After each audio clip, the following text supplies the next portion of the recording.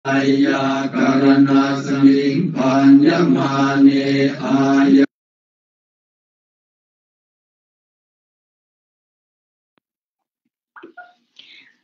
Dạ, Nam Mô Bích Thaya Nam Mô Tham Maya Nam Mô Sang Khaya Dạ, kính cảm ơn cô Nhật Quỳnh. Con thành kính đảnh lễ ân Đức Tam Bảo, ân Đức Phật, ân Đức Pháp, ân Đức Tăng.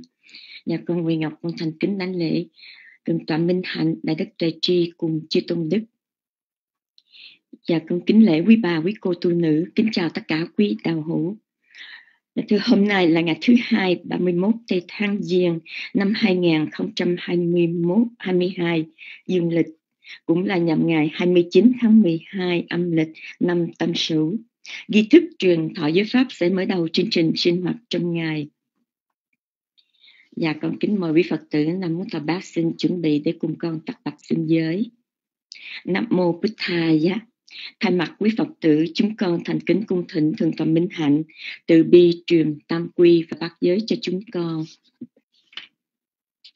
Uka samayang phante tisaratne nasaha athang yasaman nagatang uposathang yachama Dutiyam Bikmayang Phante Tisaratne Nasaha athang gasaman Nagatang Upo Satang Yachama Tatiyam Bikmayang Phante Tisaratne Nasaha athang gasaman Nagatang Upo Satang Yachama Ngưỡng bạch chư tôn đức, chúng con xin thọ trì tam quy và ba quan trai giới. Lần thứ hai, chúng con xin thọ trì tam quy và ba quan trai giới. Lần thứ ba, chúng con xin thọ trì tam quy và ba quan trai giới. Kính mong quý ngài mừng trao truyền quy giới cho chúng con và chúng con thành kính cung thỉnh thượng tọa minh Nam mô tassa bhagavato arahato samma sambuddhassa. Namo tassa bhagavato arahato samma sambuddhassa. Namo tassa bhagavato arahato samma sambuddhassa.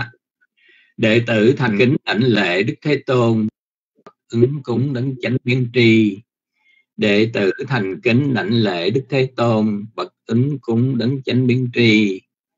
Đệ tử thành kính lãnh lễ đức thế tôn, bậc ứng cúng đấng chánh biến tri. Namo tassa bhagavato, arahato, samma sambuddhassa.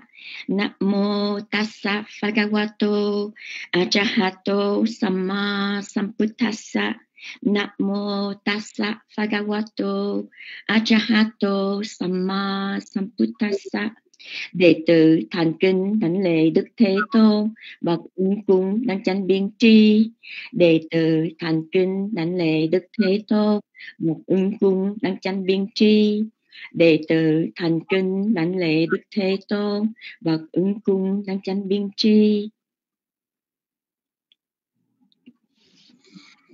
Buddhang Saranam Gacchami đệ tử nguyện quy y Phật.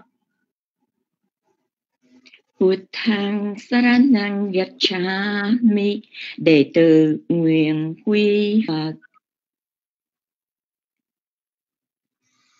Dhammang Saranam Gacchami đệ tử nguyện quy y Pháp.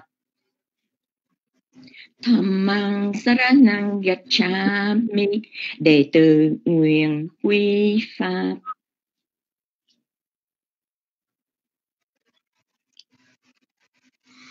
Sanghang Saranam Gacchami đệ tử nguyện quy y tăng. Sanghang Saranang Gacchami đệ tử nguyện quy tăng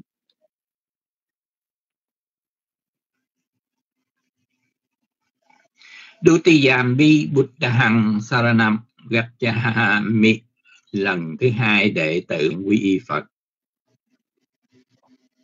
Dutiyambi Bhutang Saranang Gacchami lần thứ hai đệ tử nguyện quy Phật. Dutiyambi Dhammang Saranam Gacchami lần thứ hai đệ tử nguyện quy y Pháp. Dutiyambi Dhammang Saranang Gacchami lần thứ hai đệ tử nguyện quy Pháp. Dutiyambi Sanghang Saranam Gacchami lần thứ hai đệ tử nguyện quy y tăng Dutiyambi Sankhang Saranang Gacchami lần thứ hai đệ tử nguyện quy tăng.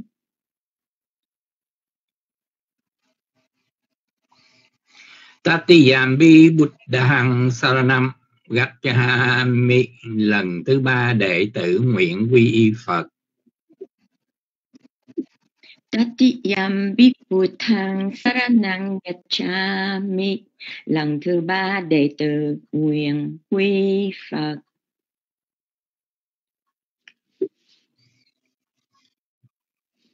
Tatiyambi Dhammang Saranam Gacchami lần thứ ba đệ tử nguyện quy y Pháp Tatiyambi thamang Saranang Gacchami lần thứ ba đệ tử nguyện quy Pháp.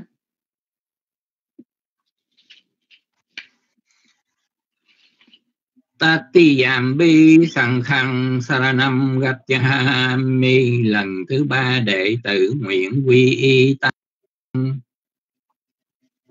Tatiyambi Sankhang Saranang Gachami lần thứ ba đệ tử nguyện quy tăng.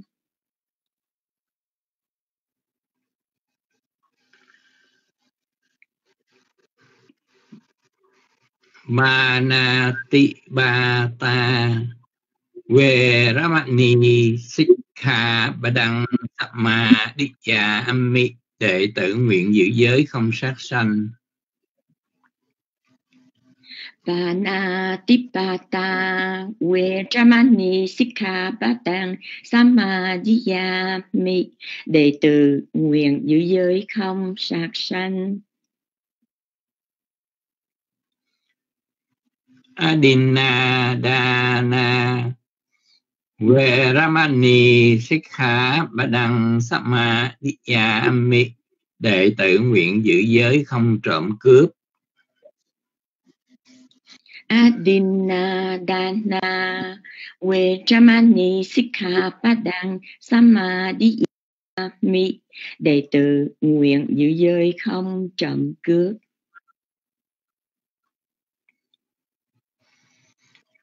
Apramachariya Veramani Sikha Badang Sama Diyami đệ tử nguyện giữ giới không trượt hạnh. Abramacharya Vejamani Sikkhapadang Samadhiyami đệ tử nguyện giữ giới không trượt hành Musawada Veramani Sikha Badang Samadhiyami đệ tử nguyện giữ giới không nói dối.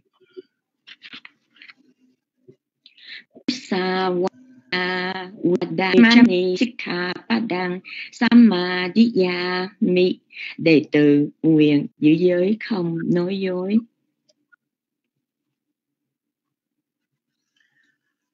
Sura Me rajamachat Bama Dathana Veramani Sikha Badang Samadhiyami đệ tử nguyện giữ giới không uống rượu và các chất sai.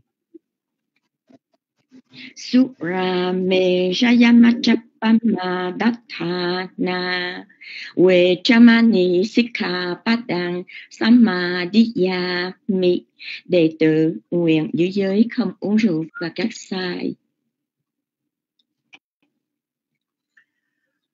Vikalapurana Veramani Sikha Badang Samadhiyami Đệ tử nguyện giữ giới không ăn phi thời. Vikalapurana Vechamani Sikha Badang Samadhiyami Đệ tử nguyện giữ giới không ăn phi thời.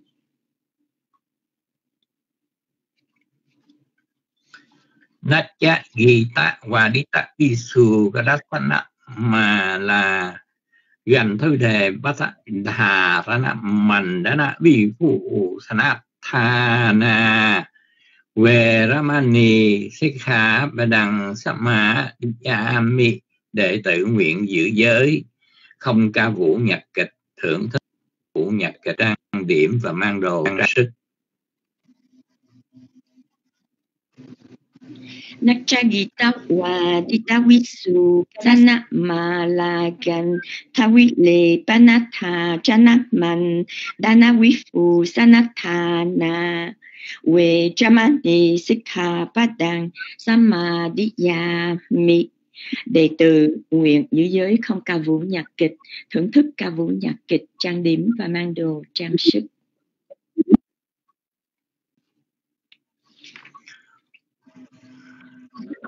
Okcha Siyana Siyana Về Ramani Sikha Badang Sama Ami Đệ tử nguyện giữ giới không sử dụng sàn tỏa cao sang. Ucha Sayana Maha Sayana We Chamani Sikha Padang Samadhiya Mi đệ tử nguyện giữ giới không sử dụng sàn tòa cao sang. Imang atang gasamana gatang buddhapanyatang upo satang imang charatin imang chadiwasang tammadewa afirakitum samadhiyami chúng con nguyện tinh thần nghiêm trì, bạc quan trai giới mà Đức Phật đã giáo truyền trọn ngày nay và đêm nay. Nguyện vun bồi căn lành giải thoát trong ngày vị lai.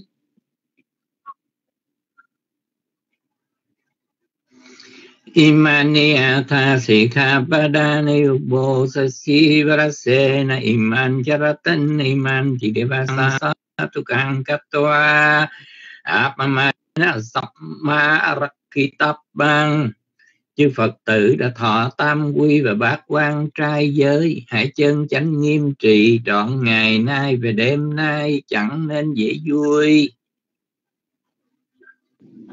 A ma phan tê, chúng con xin thành kinh phụng hành.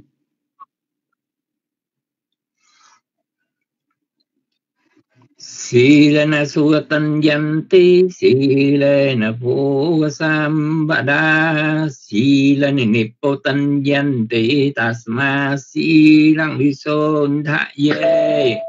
Người giữ giới hằng được phú túc, mạng chung thọ sanh lạc cảnh là thắng duyên chứng đắc niết bàn. Do vậy hành giả nên dốc lòng trì giới tịnh thanh xa thuốc lành thai Phật là nơi nương nhờ tối thường, cho chúng con vô lượng an lành. Quy y Phật bảo từ ân, nguyện lời chân thật tác thành thăng duyên. Gieo năm vọc trọn niềm sám hối. Những sợ hành làm tội vô minh, từ thân khẩu ý khởi sanh. Ngưỡng mong phật bảo đức lành từ dung. Pháp là nơi nương nhờ tôi thường, cho chúng con vô lượng an lành. Quy y Pháp bảo chân chân, nguyện lời chân thật tác thành thăng duyên, gieo năm vọc trọn niềm sám hối những sở hành lầm nội vô minh từ thân khẩu ý khởi sanh ngưỡng mong pháp bảo đức lành từ dương tăng là nơi nương nhờ tôi thường cho chúng con vô lượng an lành. Quy y tăng bảo tình thanh. Nguyện lời chân thật tác thành thăng duyên. Gieo năm vọc trọn niềm sám hối những sợ hành lầm lỗi vô minh. Từ thân khẩu ý khởi sanh, ngưỡng mong tăng bào đức lành từ dung.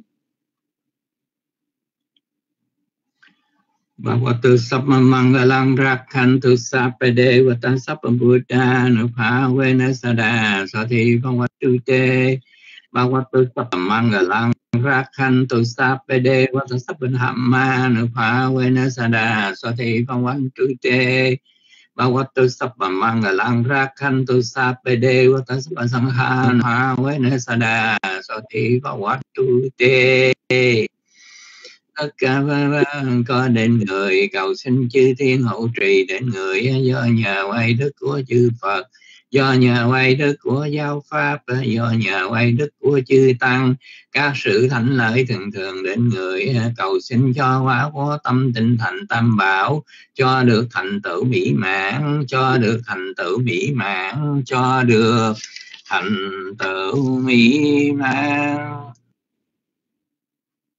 sa thu sa thu lành thai lành thai. Nam mô bích thaya nam mô tham maya nam mô sang khaya chúng con thành kính, đảnh lễ và thành kính tri ân thượng tọa minh hạnh, đã từ bi thay mặt chư tăng, trao truyền bát quan trai giới cho hàng phật tử chúng con. Dạ, và sa thu kính cảm ơn cô nhật quỳnh. Dạ nam mô bích thaya con thành kính đảnh lễ thượng tọa tỳ siêu thượng tọa giác đẳng cùng chư tôn đức. Và kính mời mc tiếp tục chương trình hôm nay. Nam mô bích Thai giá.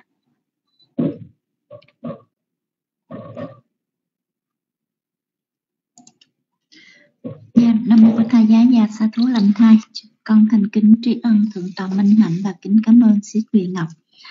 Dạ, Nam Mô Bụt Tha Giá Đây là chương trình Phật Pháp Bụt Thá Tham Má trên mạng Internet qua Bangkok, Facebook và Zoom Mỗi ngày 2 giờ giờ mùa đông Việt Nam từ 8 giờ 30 đến 10 giờ 30 tối. Houston từ 7 giờ 30 đến 9 giờ 30 sáng. New York từ 8 giờ 30 đến 10 giờ 30 sáng. Cali từ 5 giờ 30 đến 7 giờ 30 sáng.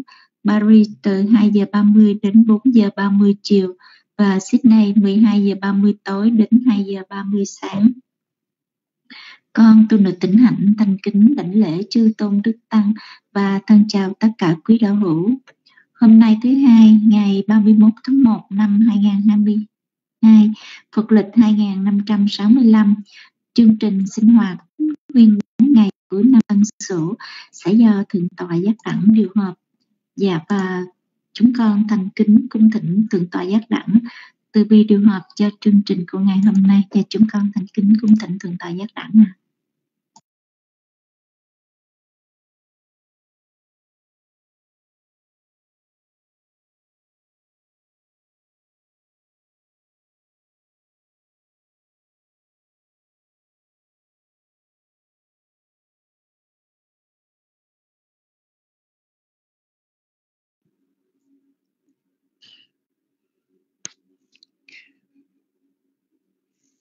thầy ạ kính đảnh lễ thưa thầy sư, đảnh lễ chư tôn đức, thân chào tất cả quý phật tử. Thưa vị,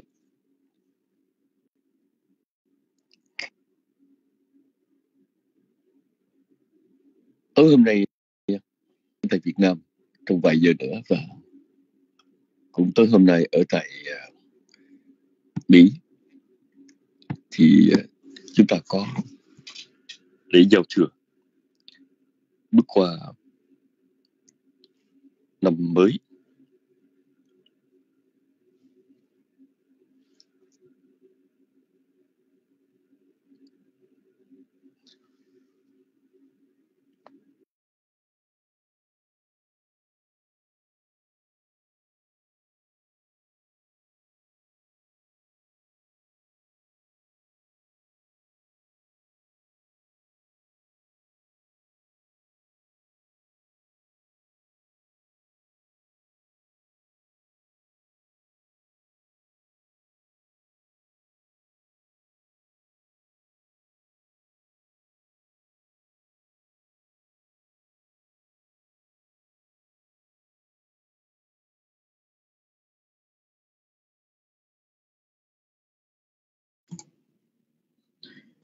Dạ, Nam Mô Bố Thầy Giá, dạ kính bạch với Thượng tọa giác đẳng, chúng con đã hết nghe được tín hiệu của Thượng tọa rồi ạ. Ờ, nếu như Thượng tọa có nghe được, chúng con kính cung thỉnh Thượng tọa trở lại.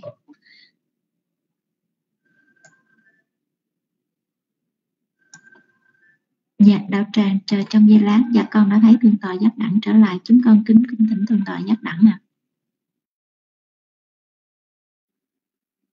xin lỗi quý vị có nghe được không um, muốn quý phật tử dạ vâng không biết là chúng tôi gián đoạn bao lâu rồi thưa quý vị hả? Thôi thì chúng tôi nói lại là uh, hôm nay là ngày đầu tiên của 6 ngày sinh hoạt tính nguyên đáng chúng ta sẽ bắt đầu vào ngày cuối năm tân sửu và kéo dài cho đến ngày mùng năm Tết nhâm dần. Rất là tình cờ nhưng hết sức thú vị là hôm qua là buổi giảng cuối năm Tân Sửu. Thì chúng ta có một tháng pháp và vì giảng sư là thượng tọa thượng Siêu cũng đã uh, đóng lại lịch giảng của năm Tân Sửu. Và đến chiến dịch tới này khi mà chúng ta mở lại lớp học thường lệ thì thượng tọa Từ Siêu cũng là vị giảng sư với cái môn thắng pháp.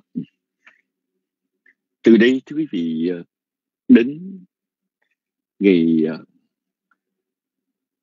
thứ bảy, tức là mùng năm tết, chúng ta sẽ có một chương trình tân xuân.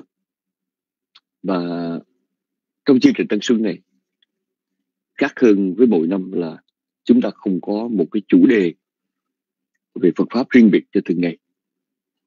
Mà thay vào đó thì quý vị sẽ thấy rằng mỗi ngày chúng ta có một pháp thoại. Và vị pháp thoại này sẽ do một vị giảng sư chính ở trong trung đảm nhận. Và cái đề tài của pháp thoại là do chính vị giảng sư lựa chọn. Chính tôi thì à, lẽ ra thì thỉnh từ tọa từ siêu mở đầu cho chương trình Tết Nguyên Đán này. Nhưng mà chúng tôi nghĩ rằng thượng tọa từ siêu là vị lớn nhất. Thì nên khởi đầu vào ngày mùng một tết. Tức là tân niên, nhâm dần. Và do vậy, ngày hôm nay thì chúng tôi sẽ phụ trách ngày cuối cùng của năm thực sự.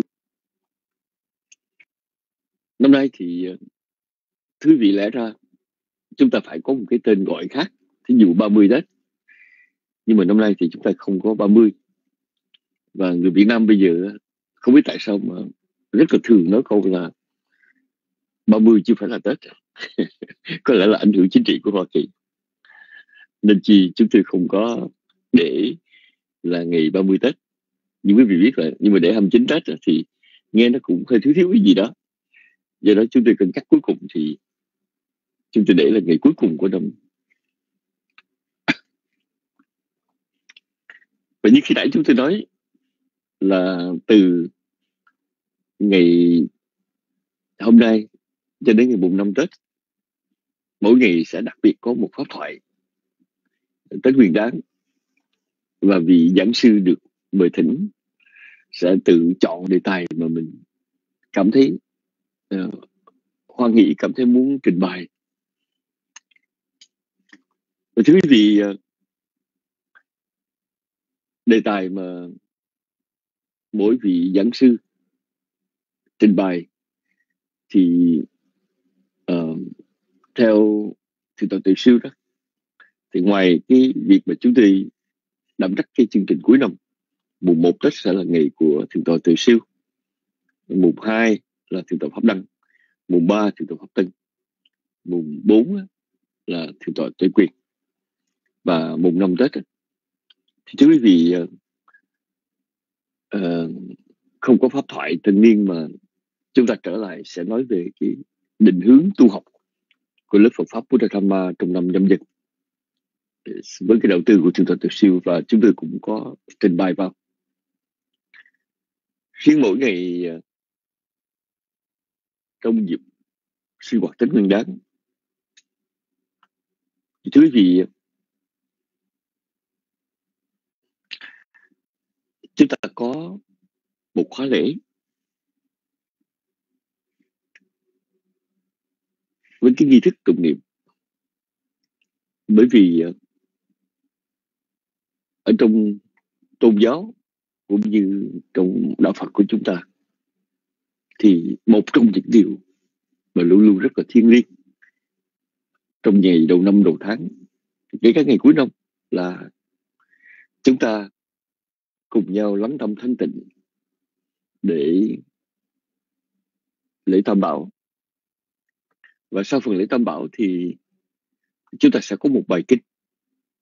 À, như hôm nay chúng ta sẽ có kinh Bita Sutta hay là kinh từ bi kinh từ tâm từ. Ngày ờ, mùng một Tết thì chúng ta sẽ tụng kinh Ratana Sutta kinh châu báu. Mùng hai là chúng ta tụng kinh Mangala Sutta kinh dấu hiệu các tương à, ngày mùng 3 thì thưa quý vị chúng ta sẽ tụng kinh à, đáo bị ngàn. À, xin lỗi mùng 3 chúng ta tụng kinh chữ pháp luân. À, chữ pháp luân. Mùng 4 chúng ta tụng kinh đáo bi ngạn và một năm chúng ta tụng kinh phật lịch. Nói rõ hơn là phật lịch cảm thắng thì trong 6 ngày sinh hoạt này chúng ta đặc biệt có chú trọng đến một bài kinh khác nhau trước đây thì uh, vẫn có một cái thói quen là luôn luôn khuyến khích quý phật tử uh, có một cái tập chú đặc biệt trên những bài kinh vào những cái dịp thích hợp. Bởi vì thứ thưa quý vị đối với một người mà ít có cơ hội để thiền tập thì tụng kinh cũng là một pháp để cho chúng ta uh, cảm nhận cái gì đó. Và bên cạnh nghi lễ có tới các chiều sâu để lắng tâm để chiêm nghiệm để cảm nhận. Thật ra đầu năm thì chúng ta có một số các cái bài kinh. Tụng và đầu năm chúng ta cũng tụng những bài kinh căn bản và thường được uh, tụng đọc và thưa quý vị uh, sau phần nghi lễ mang tính thiêng liêng của đầu năm, thì chúng ta lại có một phần được xem như là rất rất là căn bản, thường có ở trong lớp Phật pháp Buddha Dhamma. Nhưng mà chúng ta không gọi là thảo luận, mà chúng ta là phần pháp đàm. Ở trong pháp đàm này, bên cạnh cái bài giảng của vị giảng sư chính ở trong rút thì chúng ta sẽ có một vài cái trao đổi. Không có gì ờ, lợi lạc cho chúng ta bằng ngày đầu năm. À, tất cả quý chư tăng cũng như quý phật tử có thể ngồi lại với nhau để cùng đàm đạo. Chúng ta sẽ nói về đức phật nói về lời dạy của ngài nói về những cái sự hành trì trong đời sống hàng ngày. Và chúng tôi nghĩ rằng buổi đàm luận đó hiệp theo cái ờ, ý chí của Đức Phật. Ờ, cái tôn bí của Đức Phật ngài dạy rằng khi mà những đệ tử của ngài gặp nhau, thì nếu nói thì hãy nói về pháp và nếu im lặng thì hãy im lặng ở trong chánh niệm tỉnh giác do vậy ờ, chúng ta có buổi pháp đàm ngoại trừ là ngày mùng năm tết, thì chúng ta trở lại phần thảo luận, bởi vì đó là ngày mà chúng ta đặc biệt đề cập cái đường hướng sinh hoạt, cái định hướng sinh hoạt của lớp Phật pháp Buddha Dhamma trong năm tới. Thành ra phần đó là phần thảo luận. Và thưa quý vị ờ, chúng ta sẽ dành thời giờ của mỗi ngày đầu năm có một phần gọi là tâm nguyện phần này quý vị nghe cũng lạ. Thật ra chúng tôi dùng về tâm nguyện để thế cho phần chúc xuân đầu tiên. Chư tăng và quý phật tử cũng sẽ có vài lời, nếu các vị muốn vì nào muốn, để nói lên cái ước vọng của mình. Đức phật và cũng như nhiều đoạn kinh mà trong đó có ngày sản lợi phất có đề cập đến một người tu tập mà nếu có cái ước vọng chân chánh, tha thiết chân chánh, tha thiết về việc học pháp, tha thiết về tu tập, tha thiết cái phụng sự, thì những sự tha thiết này nó thực sự rất là lợi lạc cho chúng ta. Do đó, nếu quý phật tử mà có được cái điều kiện linh để cầm mic quý vị có thể có một vài cái tâm nguyện cầu mong cho mỗi người ở trong pháp hội này, ở trong lớp học này được an lạc. Thay cho lời chúc chúc xuân thì điều đó đều rất là quý. Và chúng ta cũng có thể nói lên cái ước vọng của mình. Thật ra thì người mỹ họ có một cái một cái nét đặc biệt của ngày đầu năm. Đó là make resolution. Hay là có một cái một cái một cái tâm nguyện à, một cái một cái tâm quyết một cái quyết định mạnh mẽ là làm cái gì đó hay thay đổi cái gì đó nhân dịp xuân về. Thì phần tâm nguyện này cũng là phần của chúng ta.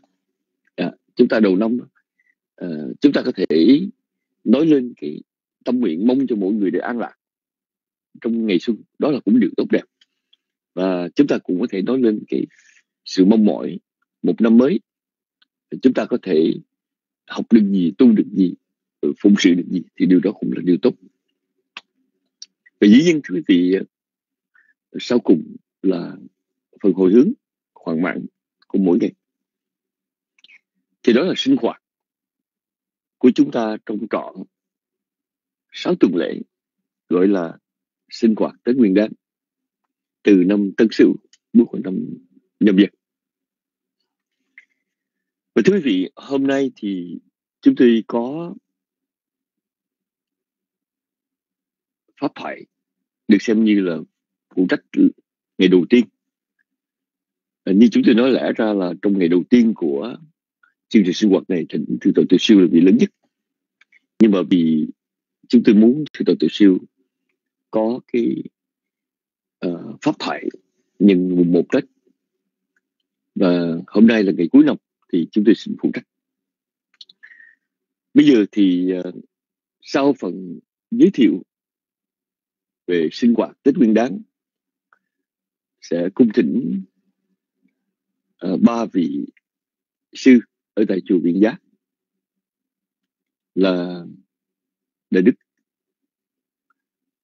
Tuệ Tri Đại Đức, Tuệ Đức. Và còn một vị nữa là ai uh, không biết sư tự Tri có cho biết được không? Còn một vị nữa. Chúng ta có ba vị. Dạ sư Tuệ Định. Dạ xin lỗi sư Tuệ Định. Dạ. à, có ba vị là đại đức tự Tri đại đức đức Tuệ, Tuệ Định. À, để trong suốt cả 6 ngày của chương trình sinh hoạt tứ nguyên đáng à, ờ, phụ trách cho phần nghi lễ tụng niệm và mỗi ngày chúng ta tụng bài kinh. À, mỗi ngày thì chúng ta đều có tụng bài kinh ờ, tam bảo và chúng tôi có đặt để dù tiết kiệm thì giờ nhưng mà riêng về cái bài chánh kinh thí dụ kinh à, từ bi hay kinh châu báo kinh điềm lành các tường hay là kinh chữ pháp luân kinh phật lịch kinh đá viên ngạn vân vân đều có phần tụng tiếng việt để những phật tử nào muốn biết ý nghĩa thì quý vị có thể nghe lắng nghe. Bây giờ thì xin ờ, cung thỉnh chư tôn đức. Ờ, uh, để đức tuệ tri đại đức tuệ đức và đại đức tuệ định. Ờ, bắt đầu cho khóa lễ cuối năm. Thông thường thưa quý vị chúng ta cũng có cái uh, lễ sám hối cuối năm. Nhưng mà sau khi chư tôn đức tụng kinh xong thì chúng tôi sẽ đọc lời sám nguyện. Nhưng mà bây giờ thì uh, để cùng thỉnh chư tôn đức tụng phần lễ tam bảo và kinh từ bi. Kính thỉnh quý ngài.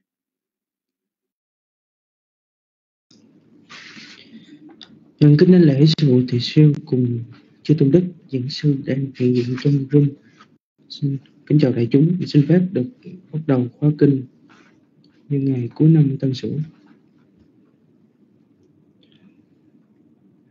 Nam Namo tassa bhagavato arahato samma sambuddhassa Namo tassa bhagavato arahato samma สัมบูทธัสนะโมตัสสะภะคะวะโตอะระหะโตสัมมาสัมพุทธัสสะ sambuddhassa Namo tassa bhagavato arahato samma sambuddhassa Iti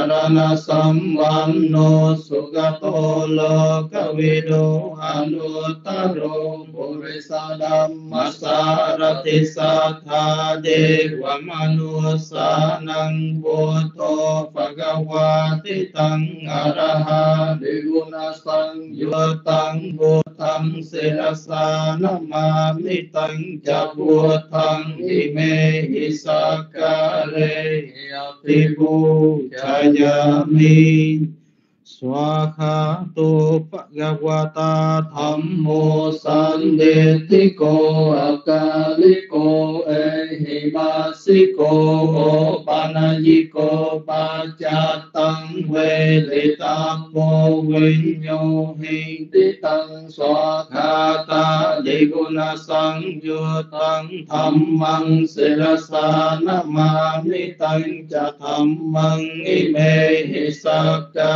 Mami Tang Chatamang Ime Hisakare he afiku jayami. Supatipanno Bhagavato Sawaka Sangho Chupatipanno Bhagavato Sawaka Sangho Nyayapatipanno Bhagavato Sawaka Sangho ภะคะวะโตสาวกสังโฆยะลิดังจัตตาริปุริสยุกานิอัตตปุริสปุกกะลาเอสะภะคะวะโตสาวกสังโฆอาหุไนโยภาหุไนโยดักขิไนโยอังกะลิการณิโยอนุตรังบุญญาเขตังโลกาสาติตัง Samejipatipanno Bhagavato Sawaka Sangho Yadidang Chattari Purisa Yugane Atta Purisa Bhoggala Esa sam vua thế a ta huy Sanh Cha Đoa Đa Sanh Cha Saha Sa Kê Bánh Cha sa ta Sa Ni Nama Ni Se Ra Sa Ahang tê Sang Tham Mạnh Cha Sang thành Cha A Ra Đề Na Nama Ni Hằng ra Nu Pha Quê Na Hằng Toa Sa Pe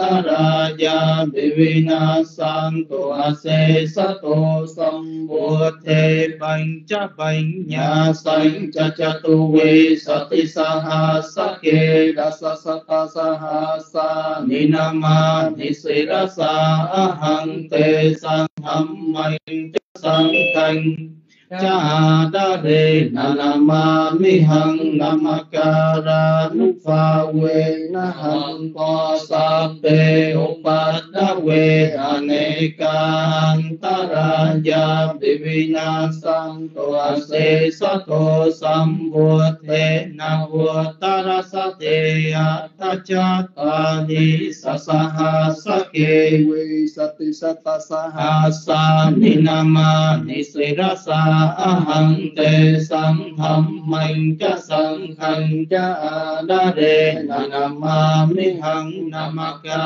รานุภาเวนะหังตัวสัพเปอุปาตเวอเนกันตรายาปิวินาสันตุอาเสสาธุ Karani yamata kusale nayantang santang badang same jasako chu jasu chu cho cha suwa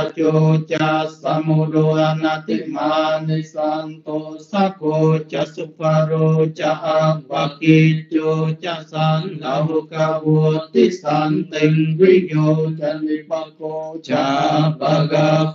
ku le su ananugito na cha ko đăng sa ma cha re kinh chi ye na quỳnh nhô ba re o ba wa วิโนวาเกมิโนหันตุสัพเพสันตาภวันตุสุขิตันตาเยเกจิปานะโคตติตสาวาทาวราวานวเสสาลิกาวาเยมหันตาวามัจจิมาราสกาอนุกัตุลา ติทาวาเยจาติทาเยจตุเรวสันติอวิรุเรภูตาวาสัมภเวสีวาสาเปสัตตาภวันตุสุขิตาตานัปโรปรังนิกเดทนาติมัญเยทกาทชินังกินกิยาโรสนามาเทกาสัญญาไมญญาไมญญาสะโด đề yum chay ki ma ta pha ta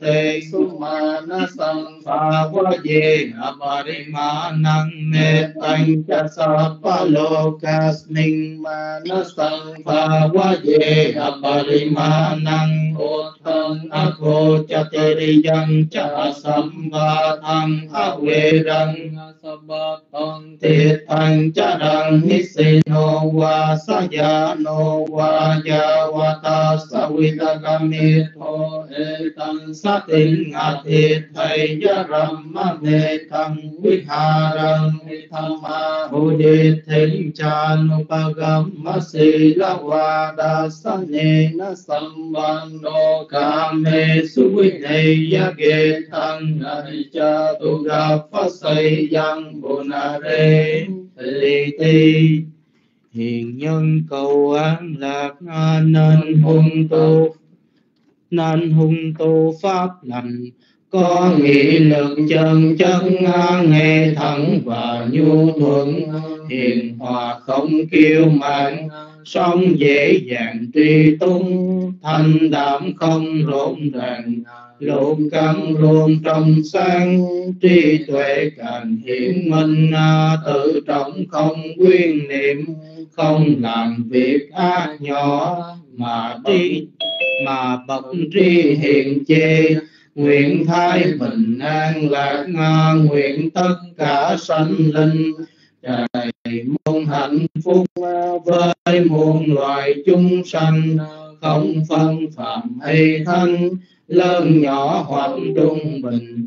Thấp cao hay dài ngắn tế thô không đồng đẳng hữu hình hoặc vô hình đã sanh hoặc chưa sanh gần xa không kể xiết. Nguyện tất cả sanh linh, tràn đầy muôn hạnh phúc. Đừng làm hại lẫn nhau, chớ khinh rẻ người nào. Ở bất cứ nơi đâu, đừng vì niệm sân si. Hoặc hiện hận trong lòng mà mong người đau khổ hãy mở rộng tình thương à, hy sinh như từ mẫu. Suốt đời lo che chở à, đứa con một của mình. Hãy phát tâm vô lượng à, đơn tất cả sanh linh. Từ bi gieo cùng khâm, cả thế gian khổ hải trên dưới và quanh mình. Không hẹp hỏi oan trai không hờn giận căm thù khi đi đứng ngồi nằm bao giờ còn tỉnh thức? An tru chánh niệm này à, phạm hạnh chính là đây. Ai từ bỏ kiên chấp ma khéo nghiêm trì giới hạnh. Thành tựu được chân tri, không ai nhiễm dục tầm, không còn thai sanh nữa. ยังดุนิมิตตังอวมังกาลัญจโยจามนาโบสกุณาสสะโดปาบักยโหโดสุเปนังอาการตังบัฏานุภาเวนวินาสเมตุยังดุนิมิตตังอวมังกาลัญจโยจามนาโบสกุณาสสะโดปาบักยโหโดสุเปนังอาการตังธรรม lúc pha quê na quê na sa men tu yang đồn ni mê tung awam ga lành cha yo cha ma na bo sa cô na sa sa do ba ba ga ho do su bi ngang na kan tam sang kha nu pha quê na quy na sa men tu do ka pa ta cha ni do ka pa ya pa ta cha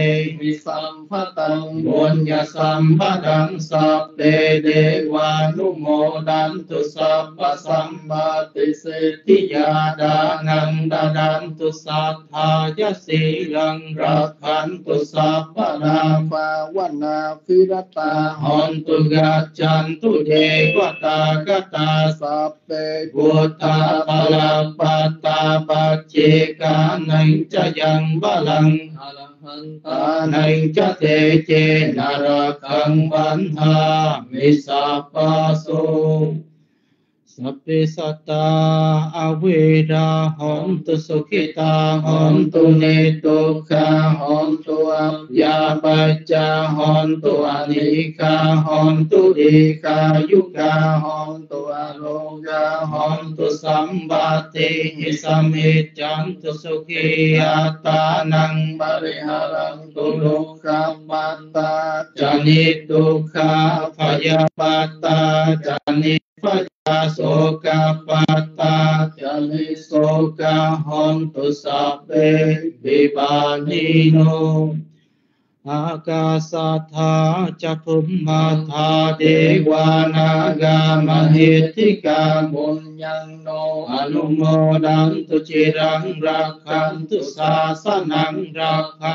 no garo rakhantu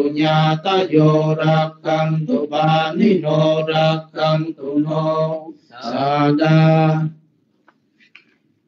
Thì kính bạch viên này cũng vị để chúng, à, chúng con vừa tụng xong khóa kinh nhân ngày cuối năm tân sửu. Bây giờ chúng con kính cung thỉnh tượng tọa giúp đảng quay trở lại để tiếp tục điều học cho chương trình ngày hôm nay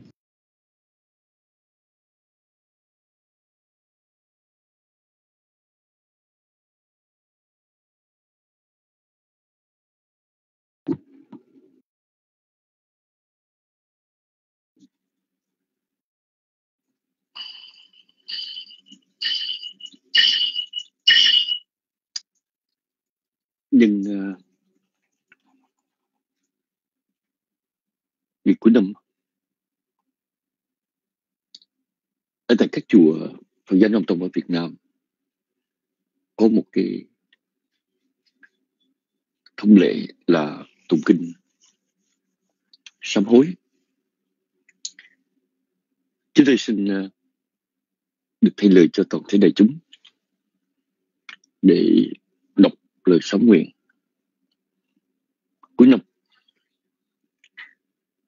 chúng ta kết thúc một năm với suy tưởng về những phước báo đã tạo, nhưng mà đồng thời là một phàm nhân sống như cõi đời này thì không ít, thì nhiều.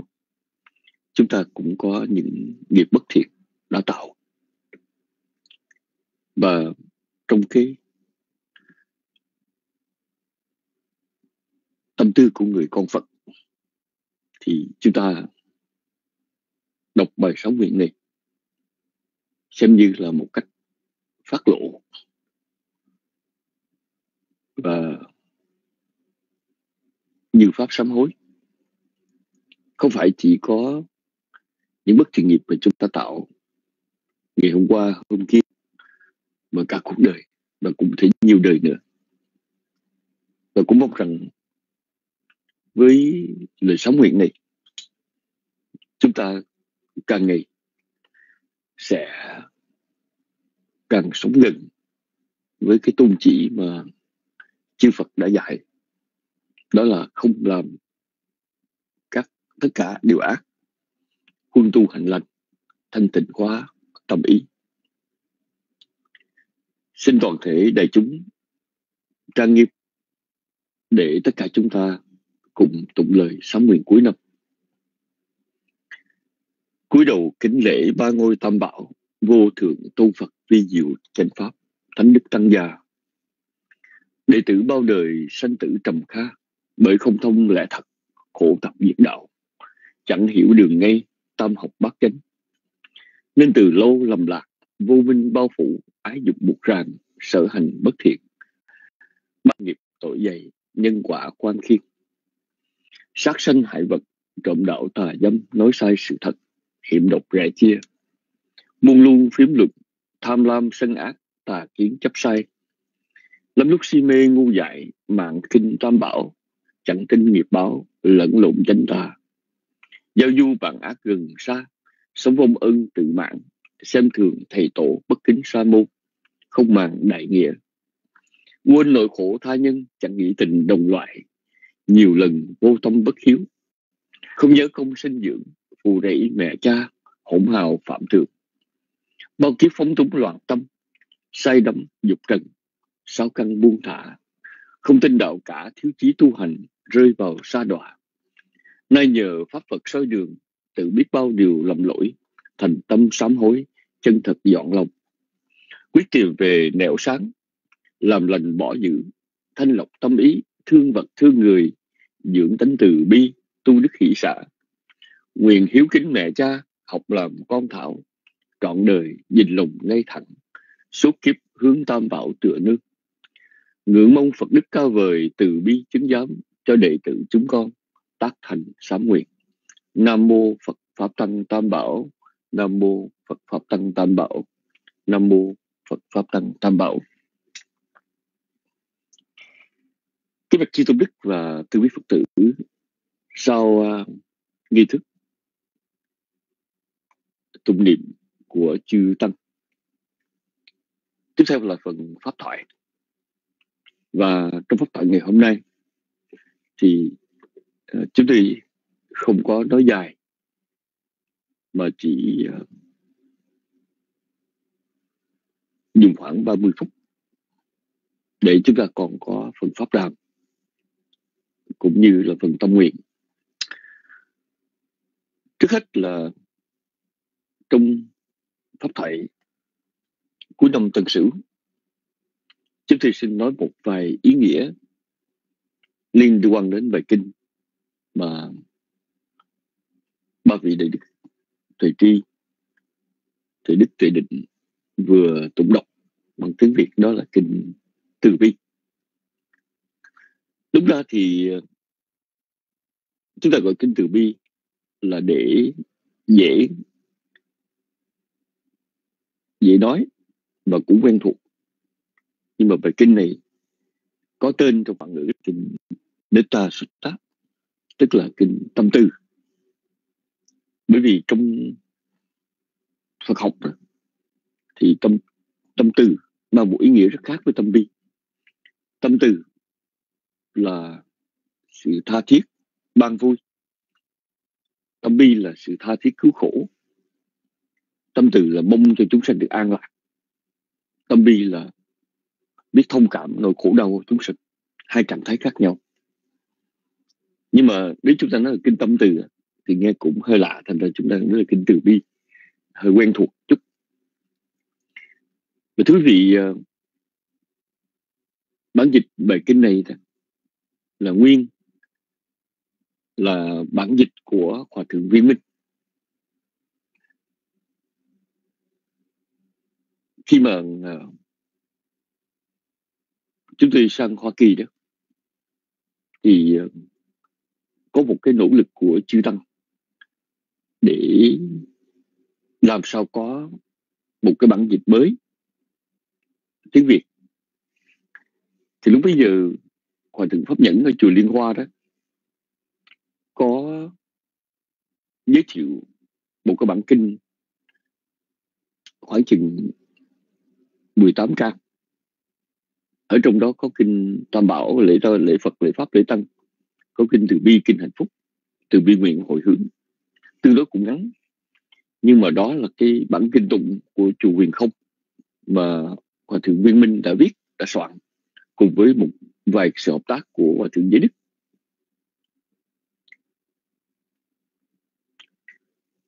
Thì thưa quý vị ờ, với cái bản kinh 18 trang này đó, thì ờ, có một vài chỗ mà chưa có dịch sát với tiếng Phạn. Do đó, hòa thượng hộ giác là một cái cuộc triệu tập chư tăng. Và không ngờ rằng cái công trình này đã kéo dài đến 21 năm. Bởi vì ờ, mỗi lần họp là Nguyễn kinh đó, thì thưa quý vị ờ, đa phần là có lúc bây giờ có chín vị sư đứng đầu là hòa thượng hộ giác rồi hòa thượng pháp nhẫn, vân vân, họp lại. Chúng tôi thì ờ, được giao cho hai cái trách nhiệm. Một là đánh máy thời đó cái kỹ thuật đánh máy thì hơi ờ, khó một chút. Ban đầu chúng tôi phải ờ, đánh không có dấu và bỏ dấu rồi làm copy ra. Và mỗi lần chưa tăng về chính vì đó thì uh, làm copy tương đối cũng cũng vất vả thưa quý vị. Uh, không phải cũng nhiều tiền lời đó copy cũng tốn tiền. Nhưng mà quan trọng đánh máy và đánh máy đem về thì sửa uh, sửa tới sửa lui sửa lui. Thì từ về kinh đó về sau này chúng tôi lại được giao một cái trách nhiệm khác đó, đó là soạn dịch. Đó là dịch những bài kinh khác. Và uh, chúng tôi cũng có một vài bài kinh sáng tác. Ví dụ như là bài sáu nguyện vừa rồi đọc nó cũng là một bài kinh mà chúng tôi phải sáng tác chứ không dựa trên nguyên bản Pali. Nhưng mà phần lớn hầu hết đó là dựa trên nguyên bản Pali mà dịch ra. Cái văn xuôi nó khác với văn tụng. Văn tụng thì đòi hỏi có một số cái âm tiết mà được thích hợp với con tùng. Rồi khi chúng tôi soạn ra thì không phải nguyên bản như vậy. Giữ như vậy mà do chư tăng đọc lại tụng lại và các ngài cũng yêu cầu sửa chỗ này chỉnh chỗ kia. Thì trong 21 năm làm việc cuối cùng có cái bản nghi thức quy nghi thức tụng niệm ngày nay. Do chính vị tăng à, những năm sau này thì có sư giác nguyên tức sư tuệ khanh cùng tham gia là 10 giờ ngày hôm nay thì cái bản kinh tụng toàn tập đó dày khoảng chừng 650 trang. Mà cho đến giờ này thì chục bản kinh nó vẫn chưa in ra mà thường thường in khoảng chừng 400 trang. À, chỉ chọn những bài kinh thường tụng. Có thể trong tương lai chúng tôi sẽ ấn hành cái bản toàn tập mà chư tăng đã uh, đã soạn dịch đã đồng thuận với cái sự chủ trì của hòa thượng hộ giác và và thượng pháp nhẫn. Thì thưa quý vị trở lại bài kinh này thì chúng tôi xưa rằng nguyên gốc là của hòa thượng viên minh dịch.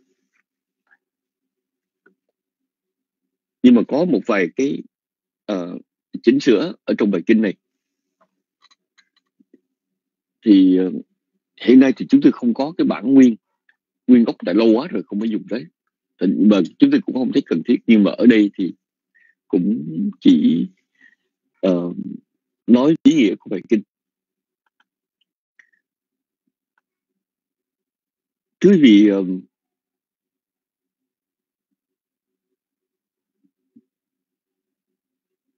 nguyên bài kinh này đó được Đức Phật ngài dạy cho chư tỳ kheo tụng đọc.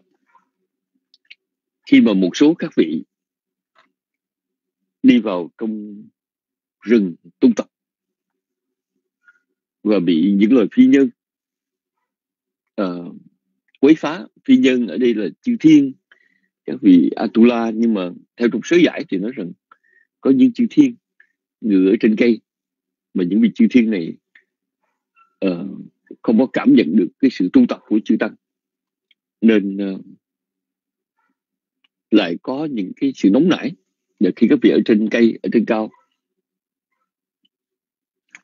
và do vì uh, các vị đã có những cái uh, cố ý tạo nên những cái quấy phá uh, làm uh, phân tâm kinh sợ các vị tỳ kheo đang tu tập ở trong rừng.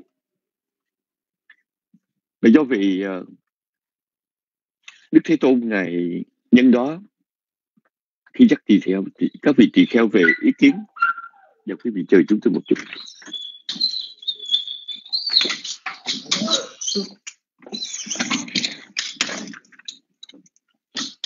Quý vị biết con chó ở trong chùa đó, ở chùa có hai con chó. Và trời lạnh thì nó đều vô nhà. Rồi nó vô nhà rồi nó đòi ra ngoài nó giống như con nít vậy đó. mặc dù nó cũng tính ra tuổi, tuổi đời của nó cũng hơn 12 tuổi rồi. Nó cũng là ờ, tới cái tuổi lão niên rồi nhưng mà nó giống con nít. Đòi vô đòi ra. Xin lỗi quý vị. Thì thưa quý vị ờ, trở lại với cái đề tài. À, ý nghĩa của bài kinh từ bi đó kinh Metta Sutta này đó. Thì khi các vị tỳ kheo trình với Đức Phật là các vị ở trong rừng tu tập, nhưng mà ban đêm lại bị sự quấy phá của các hành phi nhân. Thì Đức Phật ngài dạy bài kinh này. Bài kinh này mang hai cái hiệu năng. Một đó là cái quy lực được truyền dạy bởi một vị Phật chánh đẳng chánh giác. Cái lời kinh như vậy được được truyền đạt bởi vị chánh đẳng chánh giác cho chư tăng tụng đọc nhằm mang lại cái sự mát mẻ, sự thân thiện của các hàng phi nhân. Thật ra thì đây là cũng một trong những lý do mà chư tăng luôn luôn muốn duy trì các cái nguyên bản phản ngữ.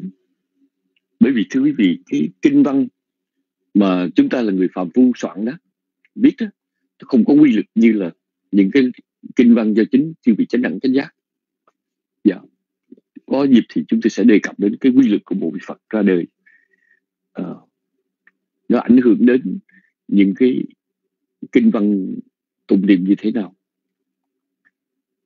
Và điểm thứ hai là ở trong bài kinh này lại có những cái soi sáng dạy chúng ta về tâm từ mà chúng ta không tìm thấy ở trong bất cứ bài kinh nào khác, trong tâm tạng Pali.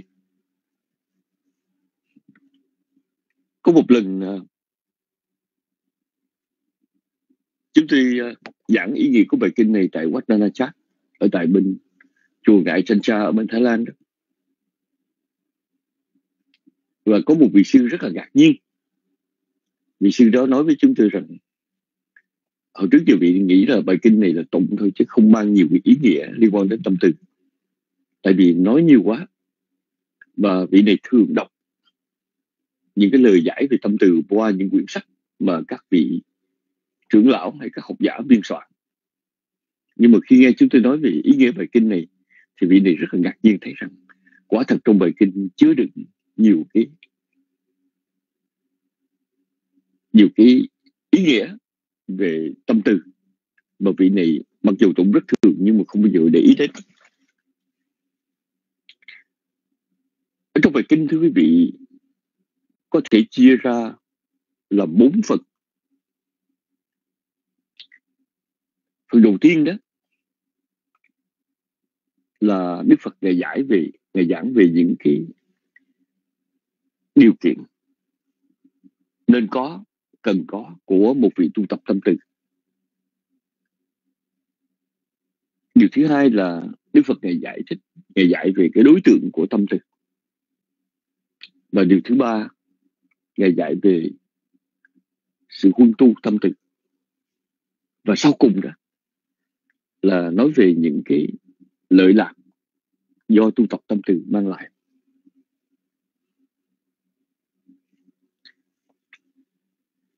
Thí dụ như chúng ta hàng ngày ờ, nghe nói về tâm từ, thậm chí tâm bi, tâm hỷ, tâm xã, thì chúng ta nghe cũng chấp nhận, cũng quan hỷ.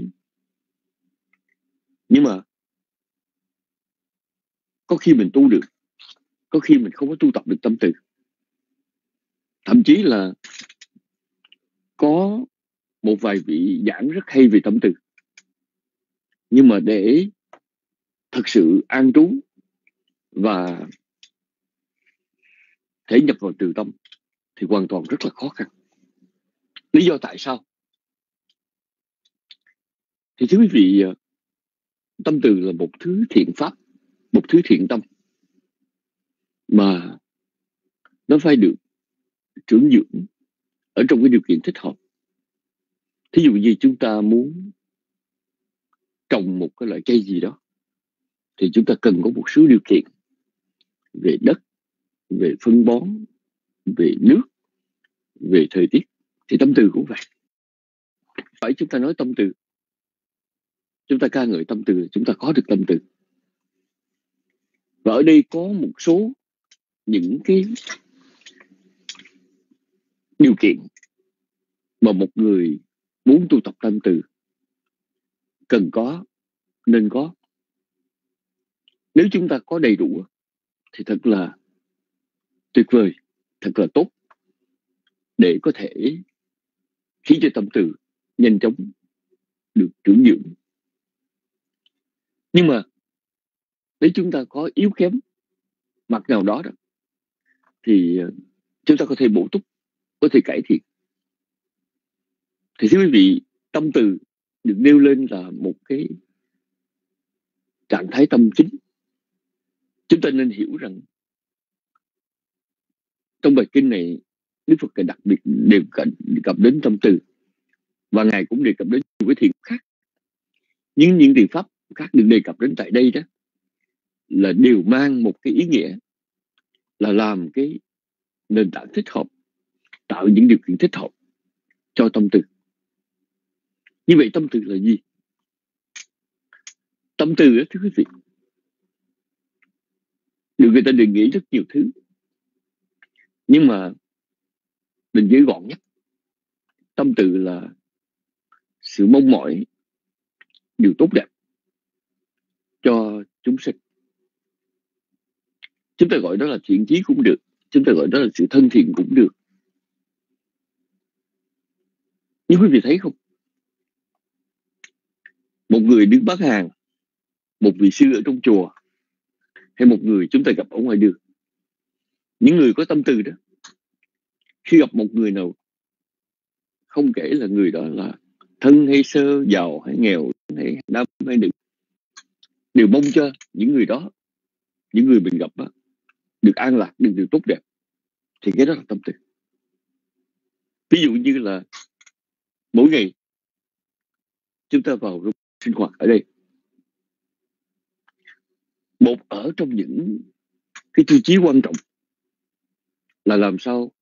Khi chúng ta làm gì, khi chúng ta nói gì, khi mà chúng ta có bất cứ sinh hoạt nào, đều nhắm vào mục đích mang lại cái lợi ích, mang lại cái lợi lạc, mang lại những điều tốt đẹp cho những người có mặt ở trong rừng. Chúng ta mong rằng những người trong lớp học này được tốt đẹp. Cái thiện chí đó đó là tâm từ. Khi chúng ta vào trong một đám đông, mà ngồi trước đám đông, chúng ta có cái sự tôn trọng, có sự thân thiện có sự mong mỏi là cái gì mà nói, cái gì mình làm cho mọi người được an lạc, được lợi ích cái đó là tâm từ. Khi chúng ta đi bộ ở trong công viên hay bất cứ sớm làng nào, mà chúng ta đi, mà chúng ta có một cái tâm mong cho những người ở tại đây được an lạc là tâm từ. Thậm chí buổi sáng thức dậy, hay là buổi tối trước khi chúng ta ngủ và chúng ta chỉ nhắc một câu nhỏ thôi, mong cho tất cả chúng sanh được an lạc, cái đó cũng là tâm từ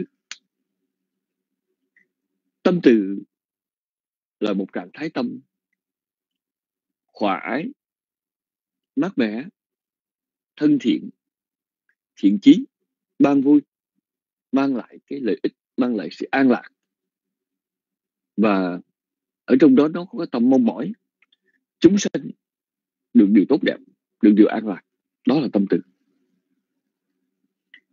Nhưng mà để có được tâm từ không phải là chuyện dễ tại sao một số chúng ta có tâm từ dễ dàng và số khác không có tâm từ? Thì thưa quý vị, tại vì có thể là chúng ta cũng mong cho người khác được hạnh phúc, nhưng mà chúng ta thiếu một số cái tố chất.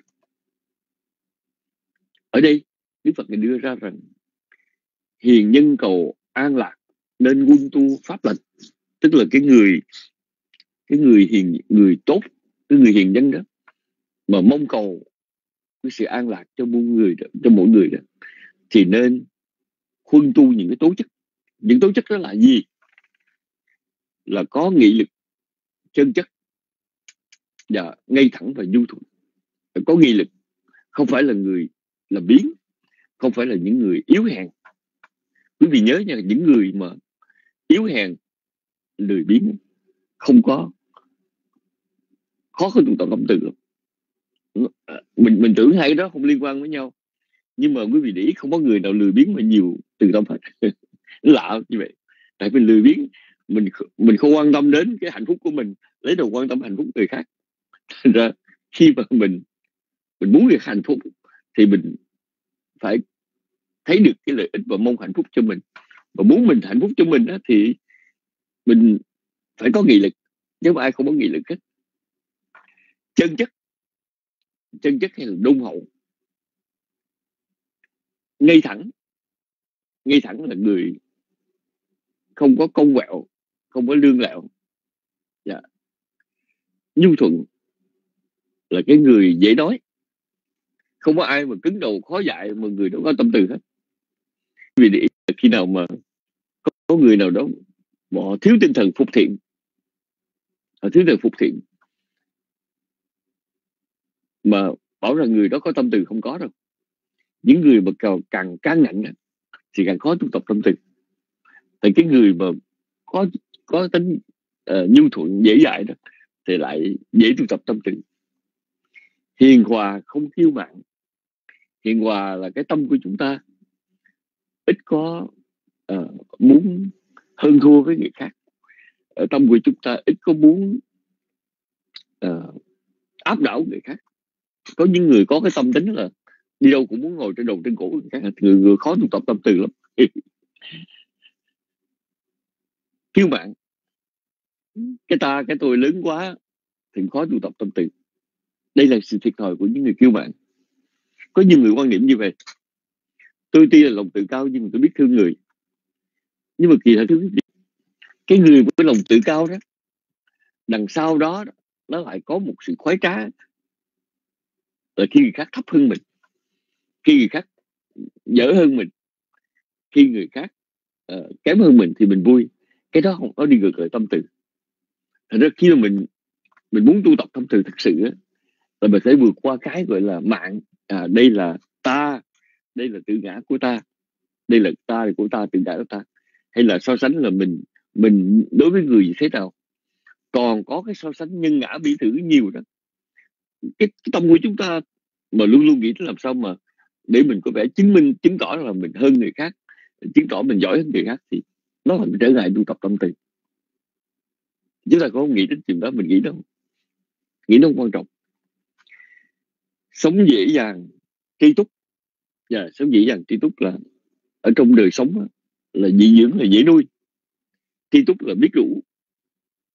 Những người mà sống mà khó khăn quá cái gì đòi hỏi tiêu chuẩn cao quá thì ít có tâm từ lắm. Chứ biết là khi ở trong chùa thưa quý vị có những vị sư mình lên ba bữa ăn thôi à, mà kêu cái người mà dọn cơm mình đó, là phải có cái này cái kia. Dĩ nhiên là nếu thân thiện thì cũng có thể hỏi không biết có trái ớt không hay có nước tương thêm không thiện được. Nhưng có khi đòi cả trăm thứ à, đòi cái này cái kia à, đi đâu người ta phục vụ cho mình cũng khó khăn. Ờ, đời sống mình cái gì cũng phải người ta đáp ứng nhiều thì mình càng khó khăn trong cái việc sống của mình đó, thì càng khó tu tập tâm từ. Mà cái người càng dễ nuôi á người càng dị dưỡng dị dưỡng người dễ nuôi đó thì càng dễ tu tập tâm từ. Tri túc là biết đủ. Nó bị hỏi rằng cái tri túc mà nó liên hệ gì với tâm từ? Những người nào mà không có tri túc mà sống luôn luôn đòi hỏi nhất là cái tiêu chuẩn phải là cao quá tham nhiều thì khó tu tập tâm từ. Tại tham nhiều thì mình phải dành phần nhiều hơn cho mình thôi. Tại như vậy mình tu tập tâm từ khó hơn người người tri túc thanh đạm không rộn ràng là đời sống mình nó không có cầu kỳ. Đời sống mình nó không có ờ, lăng xăng. Lăng xăng đời sống cầu kỳ thì có thì giờ đâu nữa mà nghĩ đến người khác. Mình thấy như vậy là ừ, thế giới ngày hôm nay mà con người càng lúc càng bận rộn con người càng lúc càng lăng xăng à, bận việc này việc kia thì vợ con chồng con còn không lo được thì lấy gì lo chúng sinh. À, có rất nhiều người tội nghiệp là họ bận rộn quá không còn thì giờ nghĩ đến người thân của mình nữa. Thì có thì giờ đâu nghĩ đến nhân quần. Mặc dù họ nói như vậy nhưng rốt cuộc thì không biết mình mình sống cho ai sống cho cái gì. Tại muốn tu lập tâm từ thì rất cần là đời sống tương đối là uh, thanh đạm không rộn ràng lục căn luôn trong sáng trí tuệ càng hiển minh. Lục căn luôn trong sáng là là cái, cái sáu căn của mình ít có bị phiền não. À, sáu căn mình mà bị tham sân si chi phối nhiều quá thật ví dụ như người thích nhộn nhạc hay là người thích âm nhạc thích gì mà ở cái mức uh, cái cường độ cao quá đó thì khó tu tập. À, tại sao uh, ở trong kinh có thường khuyên chúng ta nên đừng nên uh, làm cho lục căn bị ô nhiễm. Yeah. người mà bị bị nặng một thứ gì quá trong cái thị dục của mình đó, thì thành ra khó tu tập tâm tư. Trí tuệ càng hiển minh tức là ở đây là cái người không từ thì cái, cái trí họ nó sáng. Dạ trí họ sáng hơn. Ờ, Chúng tôi có quen với một uh, bà cụ bây giờ mất rồi. Bà cụ có chín người con thì bà cụ có nói với chú tiêu một điều rằng là mẹ không phải dễ đâu sư để mình có thể nuôi con rồi dựng vợ gả chồng rồi mình có thể sống trang hòa đó là chuyện tế nhị lắm. Con thì có đứa nó phân bì, có đứa đòi để điều này, điều gì đầu kia. Thật khi nghe bà cụ nói đó thì chúng tôi mới thấy rằng nội sống mà có cái tâm từ quân bình cho mọi người cũng là đòi hỏi trí tuệ chứ không phải là dễ. Cái câu này nó hơi khó hiểu một chút, nhưng mà nó lại à,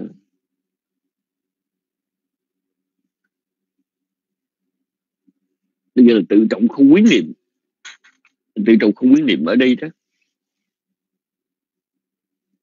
Chúng tôi nói điều này chúng tôi phải xin lỗi quý vị trước là câu này ờ, đại khái chúng ta hiểu rằng một người, với một người xuất gia đó, thì đối với người cư sĩ thì là phật tử là phật tử, cư sĩ là cư sĩ. Chứ không có dính mắt quá dính mắt vào một gia đình nào đó. Ví dụ như ngày nay chúng ta thường nghe có cái trường hợp là người ta hay ờ, vướng mắt các gia đình những người này là mẹ nuôi, người kia làm chị nuôi, làm anh nuôi, làm em nuôi, làm con nuôi, vân vân.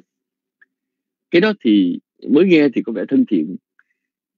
Nhưng mà kỳ thực á, nó không có, nó không có thích hợp đâu. Dạ nó không thích hợp. Ví dụ mình đi xuất gia là phật tử là phật tử thôi. Chứ không nhất thiết người này phải nhận người làm mẹ nuôi, người ấy làm chị nuôi, làm anh nuôi, em nuôi gì đó. Dạ khi mà một người xuất gia mà có vẻ là vướng mắc nhiều quá với một một người cư sĩ đó thì nó có vấn đề. Dạ nó giúp nó làm cho chúng ta giảm bớt đi cái khả năng để tu tập tâm từ cái đó gọi là tự trọng quyến niệm. Dạ, Và quyến niệm tức là uh, ở trong bản dịch của Ngọc Tông đó là quyến liếng theo thân bằng quyến thuộc. Uh, chữ cu là cu lê xuống. Anonigito anonigito là không có Ờ, dính mắt không có vướng vấp nhưng mà cu lê xuống ở đây chúng ta hiểu uh, những cái gia đình của cư sĩ và hiểu như vậy. Dạ, à, tự trọng không phải liên tại gia thành tính à. Không làm việc ác nhỏ và bậc ký hiền chê. À, không việc ác nhỏ tức là chúng ta có cái ác tâm dù là rất nhỏ, ác tâm ở đây là gây nên cái tổn thương. Một người mà gây nên cái tổn thương cho chúng sinh khác. Mình đúng tọa tâm tâm từ thì có những cái mình nên tránh. Ví dụ như tránh nghề đi câu cá, câu cua ờ, tránh nghề sát sanh, tránh nghề ờ, trộm cướp, lấy cái vật không cho chẳng hạn. Thì cho dù cái việc rất nhỏ, nhưng mà chúng ta vẫn làm, vẫn thường làm thì nó trở ngại cho việc tu tập tâm từ.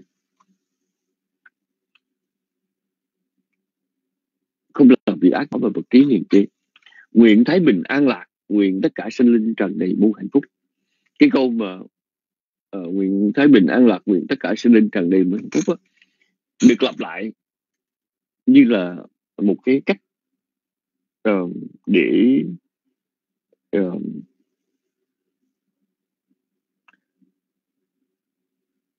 để phát huy cái từ tâm. Khi mà chúng ta tụng đọc bài kinh này bây giờ thưa quý vị, qua tới đoạn thứ hai, đoạn này ờ, mang cái ý nghĩa rất là quan trọng cho cái người tu tập tâm từ. Tức là tu thiền tâm từ đó, tu về tâm từ. Thí dụ chúng ta nói là mong tất cả chúng sanh được hạnh phúc, thì chúng ta nghĩ rằng Ờ, mình cho anh A được hạnh phúc cho B được hạnh phúc C C hạnh phúc. Hay là mong cho uh, con chó chúng ta nuôi trong nhà hạnh phúc hay mong cho bạn bè được hạnh phúc. Thì khi chúng ta niệm như vậy đó đôi khi nó lại không có nó không có đúng theo cái cái gọi là cái cái đối tượng mà thực sự của từ tâm.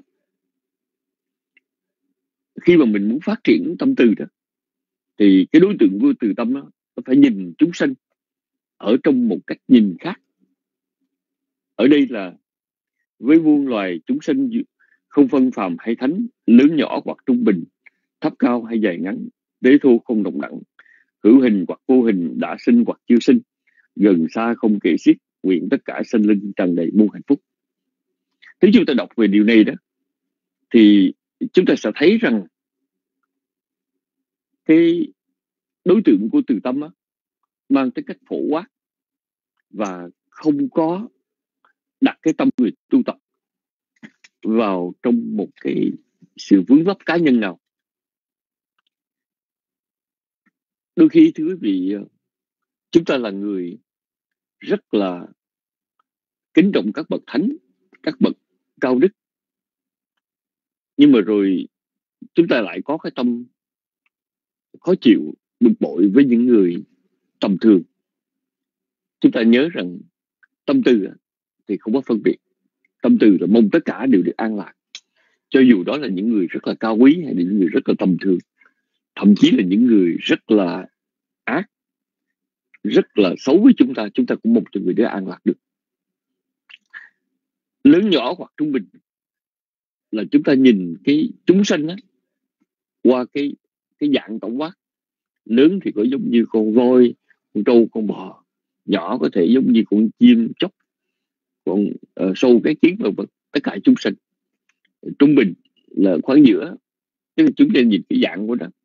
Có nhiều người lạ lắm thưa quý vị họ có một cái tâm từ đối với những chúng sinh to lớn nhưng mà chúng sinh nhỏ họ không có tâm từ có những người có tâm từ chúng sinh nhỏ nhưng mà chúng sinh lớn họ không có tâm từ cái cái chiều kích của chúng sinh nó đôi khi nó ảnh hưởng cái tâm lý của mình nhiều lắm. Tại chúng ta không để ý nhưng khi chúng ta ra bên ngoài chúng ta sống ở trong cách cư xử đó chúng tôi nhớ là có lần chúng tôi nói chuyện với Ajahn Sumito Ajahn Sumito có kể cái kinh nghiệm là có một vị cháu khuôn tức là một vị tu hàng giáo phẩm cao cấp sắp đến thăm chùa. Thì trong cách trụ trì đó thì cũng uh, chuẩn bị để đón tiếp.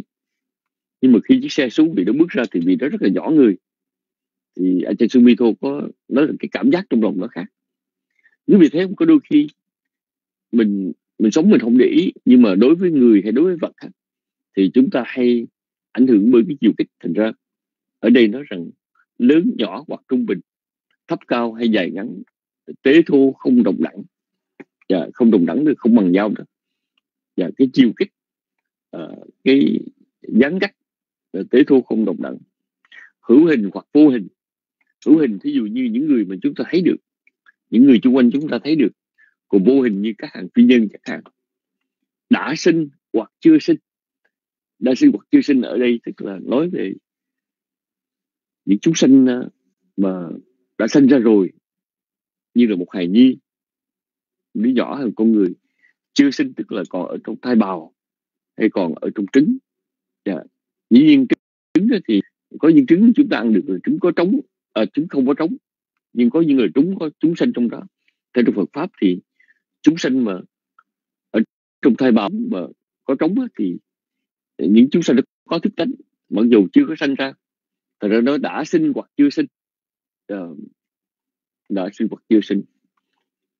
Có bản dịch của người hậu tông á, mà dịch theo người campuchia là uh, đã sinh ra rồi hoặc còn hoặc còn đi tìm nơi chỗ nơi thọ sanh không phải ở đây là không phải đi tìm nơi thọ sanh. Sanh thì không có đi tìm nơi thọ sanh, là thân trung ấm.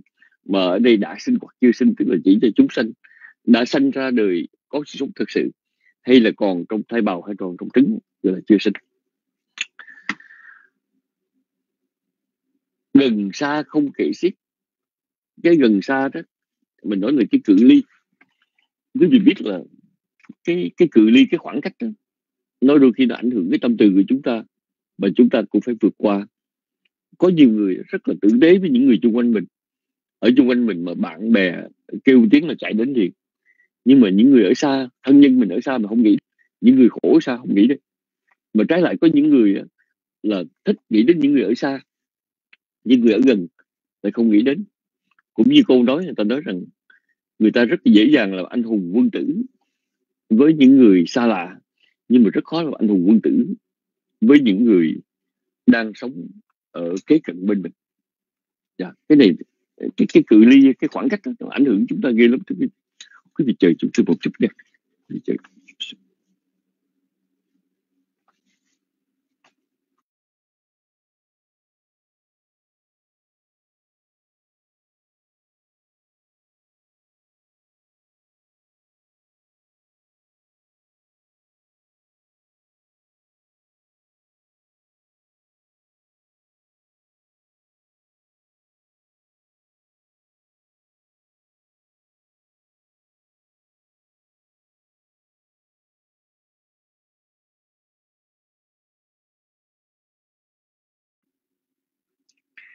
Xin lỗi quý vị, quý vị có nghe chúng tôi nói được không? Một lần nữa xin được hỏi quý Phật tử. Dạ vâng. Thì thưa quý vị, khi mà nói đối tượng của lòng từ đó, thì chúng ta nên biết rằng mình tu tập đó, để mình có được cái nhìn chung chung, thì chúng ta đừng đặt vấn đề giai cấp, đặt vấn đề ngoại hình, như giai cấp là giàu nghèo sang hèn ngoại hình là Ờ, đẹp xấu hay là người này kia mà chúng ta chỉ nhìn một cái chung chung. Yeah, cái chung chung uh, cái chung chung này đó là được diễn tả qua là không phân phàm hay thánh lớn nhỏ hoặc trung bình thấp cao hay dài ngắn. Tế thô không đồng đẳng hữu hình hoặc vô hình đã sinh hoặc chưa sinh gần xa không kể xiết nguyện tất cả sinh linh tràn đầy muôn hạnh phúc. Và rồi.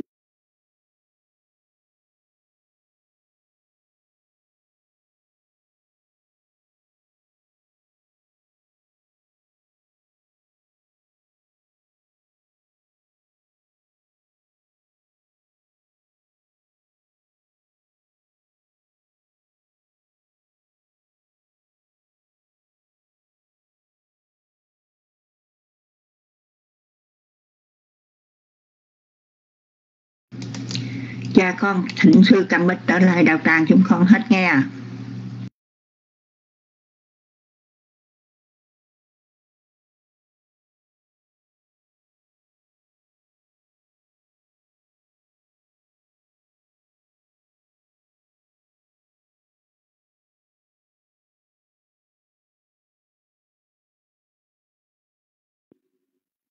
Xin lỗi quý vị, quý vị có nghe lời được chưa?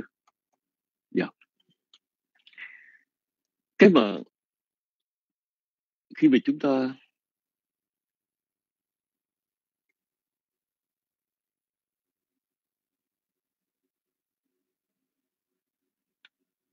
khi mà chúng ta muốn tu tập tâm từ á, thì chúng ta nên để ý có những cái um, trạng thái mà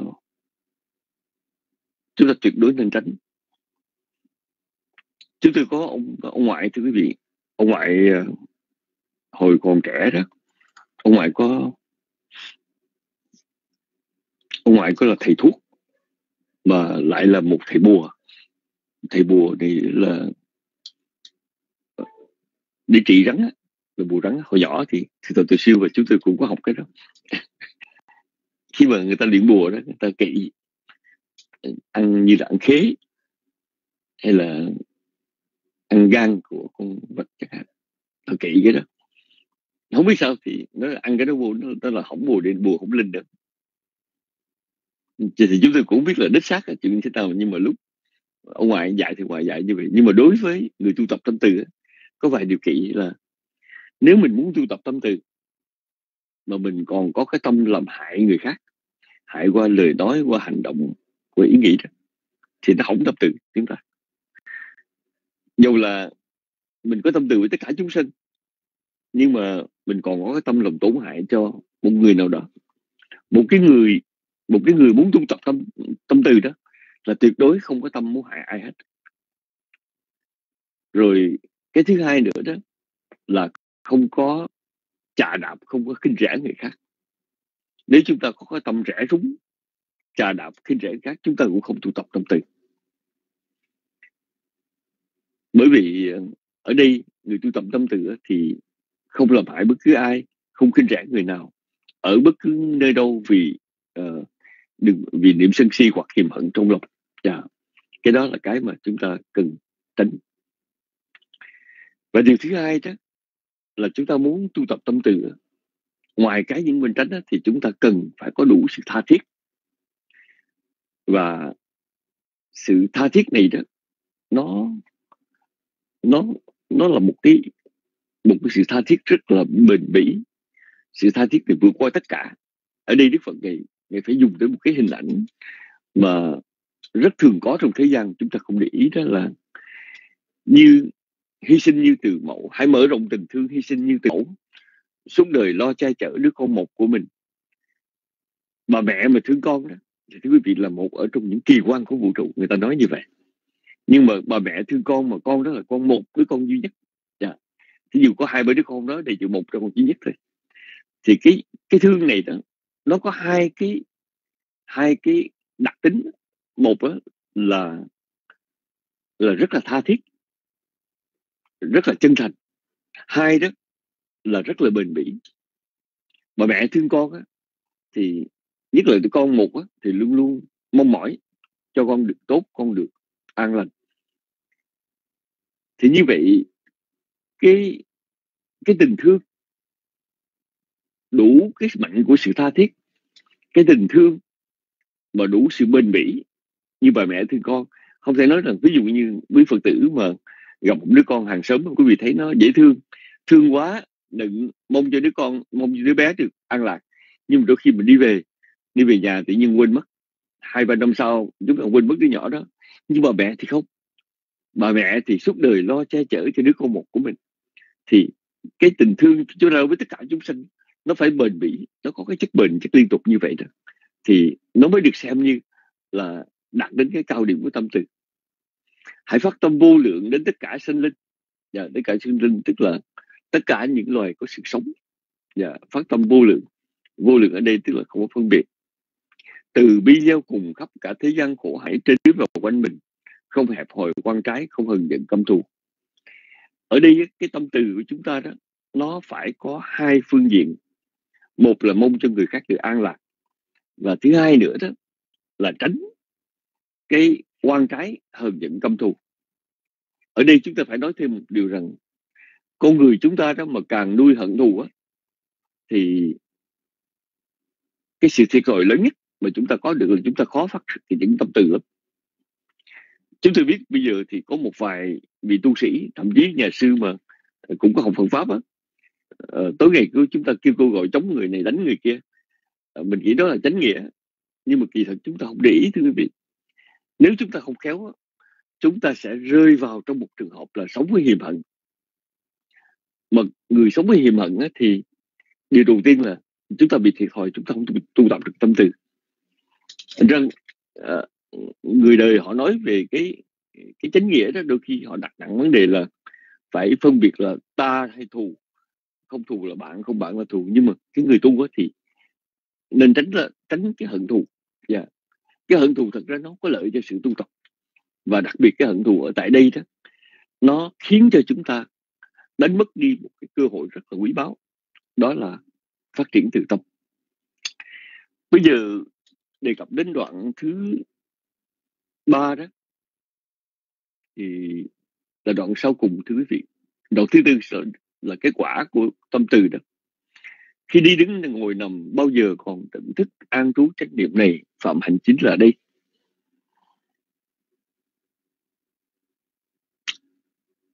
Ở đây nói về một vị an trú về tâm từ, mà an trú có thể xuất nhập tự tại, liên tục, tức là chứng thiền chứng thiền tâm từ đó. Thì thưa quý vị, cái khả năng đó, nó sẽ dẫn đến hai cái hai cái trường hợp. Một đó là vì đó sẽ sanh về thiên giới, và đặc biệt là nếu chứng thiền sanh về cõi phạm thiên.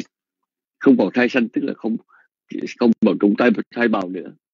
Mà thật ra một ở trong những cái trạng thái mà sanh lòng uh, chư thiên phạm thiên các lời khóa sanh đó, đó là do cái phước mà tu tập tâm từ uh, là một ở trong những cái yếu tố để thành tựu con đường dẫn đến phạm thiên dẫn đến chư thiên.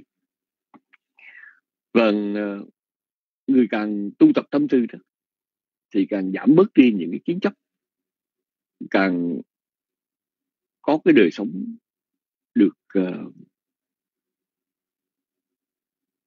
được chân chánh được sáng suốt và thành tựu chánh trí sáng suốt. Đôi khi chúng ta không tin điều này là cái người sống bằng tâm an hòa mát mẻ không hận thù đó thì lại dễ dàng để thắp sáng trí tuệ hơn. Là người sống mà lúc nào cũng hơn thua lúc đầu mà hận thù mặc dù mình mới nghe mình thấy có nhiều người ác cũng có trí tuệ đó nhưng thực sự thưa vì cái ác của họ đó. Trí tuệ là cái trí tuệ uh, do cái sự lanh lợi còn lại.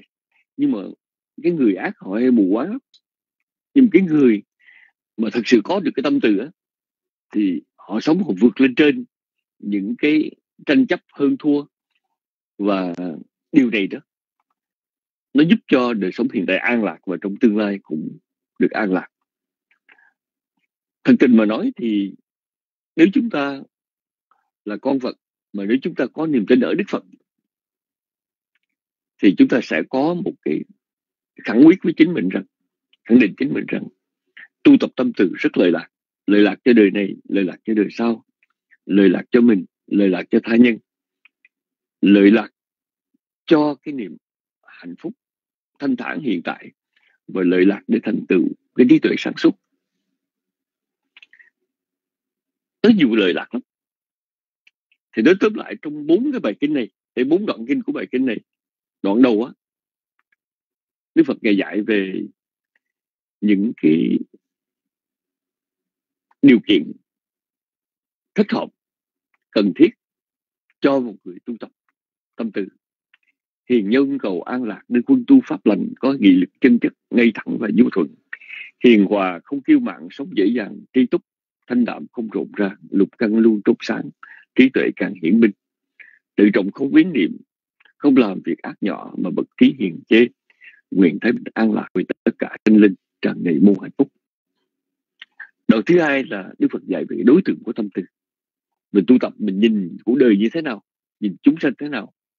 Với muôn loài chúng sanh không phân phàm hay thánh, lớn nhỏ hoặc trung bình, thấp cao hay dài ngắn, thế thô không đồng đẳng, hữu hình hoặc vô hình đã sinh hoặc chưa sinh, gần xa không kể xiết, nguyện tất cả sinh linh tràn đầy muôn hạnh phúc. Và đoạn thứ ba Đức Phật ngày dạy chúng ta tu tập tâm từ thế nào? Là nhất vứt bỏ, buông bỏ cái tâm kiêu mạn, tâm hiềm hận, nuôi dưỡng cái tâm từ tha thiết, luôn luôn mong mỏi cho con được hạnh phúc. Trước khi đừng làm hại lẫn nhau chứ khinh rẻ người nào ở bất cứ nơi đâu. Đừng vì niềm sân si hoặc hiềm hận trong lòng mà mong người đau khổ. Hãy mở rộng tình thương hy sinh như từ mẫu suốt đời lo che chở đứa con một của mình. Hãy phát tâm vô lượng đến tất cả sinh linh từ bi gieo cùng khắp. Cả thế gian khổ hại trên dưới và quanh mình, không hẹp hồi quan trái, không hờn giận căm thù. Và những người sống với tâm từ, họ có hai con đường đi một đó là hiện tại thì thành tựu được cái chánh trí thành tựu được cái tâm lành và con đường trong tương lai là sanh về các cõi trời trời dục giới cõi trời vô sắc à, cõi trời sắc giới. Khi đi đứng nằm ngồi bao giờ còn thức tỉnh ăn trú chánh niệm này phạm hạnh chính là đây. Ai từ bỏ kiến chấp kéo nghiêm trì giới hạnh thành tựu được chính trí. Không ai nhiễm dục trần không còn thay sanh được. Thưa quý vị đó là vài điều chúng tôi muốn chia sẻ ngắn gọn về ý nghĩa của bài kinh từ bi. Thật ra thì bài kinh này còn có rất nhiều điểm và đáng lẽ chúng ta nên uh, có nhiều giờ nhưng mà dù sao đi nữa thì cũng nhắc chúng ta thấy rằng uh, qua bài kinh này Đức Phật này dạy một số những cái khía cạnh căn căn bản của sự tu tập tâm từ. Và nếu chúng ta thật sự mong mỏi là trong một cái năm vừa qua chúng ta đã đi qua một chặng đường của cuộc sống. Và có bất cứ những vướng vấp nào trong lòng nhất là những cái uh, quan trái những cái hiềm hận. Và có một số điều mà không có an lạc. Và chúng ta nghĩ đến tâm từ thì một trong những điều chúng ta nên rũ bỏ là nguyện cho tất cả chúng sanh dứt trừ mọi quan kết nguyện cho tất cả chúng sanh được những điều tốt đẹp nhất và nguyện tất cả chúng sanh được an lạc hạnh phúc. Đó là vài điều mà chư tôi muốn chia sẻ với quý vị trong ờ, uh, pháp thoại của cuối năm tân sự hôm nay. Bây giờ thì thưa quý vị chúng ta uh, qua phần tiếp theo đó là pháp đàm. Và vì đây là ngày đầu do vậy ờ, chúng tôi không có phần thảo luận mà chỉ xin chư thỉnh chư tôn đức đang có mặt ở trong rung có vài cái lời chia sẻ Phật pháp về cuối năm. À, đây là buổi sinh hoạt cuối năm. Ngày mai này thì à, chúng ta đã có cái à, ngày mùng một Tết năm nhâm dần rồi. Mà thượng tọa thời siêu thượng tọa có ở trước máy và thượng tọa có nghe được không? Nếu thượng tọa à, thời siêu có mặt ở trước máy xin thỉnh thượng tọa comic uh, ờ, để có một vài uh, chia sẻ về Phật pháp uh, trong ngày cuối năm này. Và thưa tọa cũng sắp chuẩn bị đón giao thừa rồi. Xin kính thỉnh thưa tọa.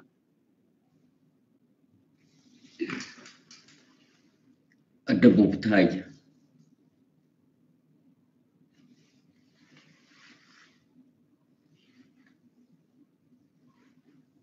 Kính bạch chư tùng đức kính thưa quý vị.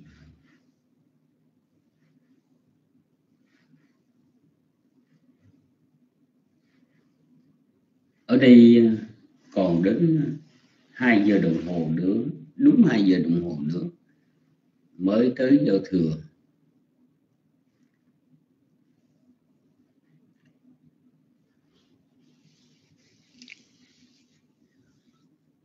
Nhưng mà giao thừa năm nay đó thì ờ,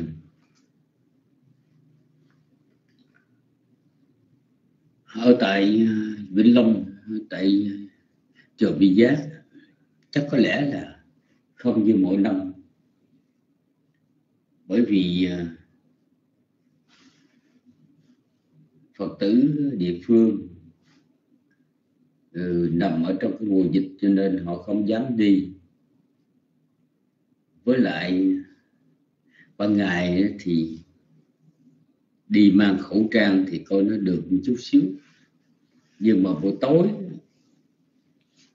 không mang khẩu trang thì cũng không được. Mà mang khẩu trang đi thì cũng không có ổn cho nên cuối cùng thì chúng tôi cũng chưa biết sao. Có đón giao thừa hay không?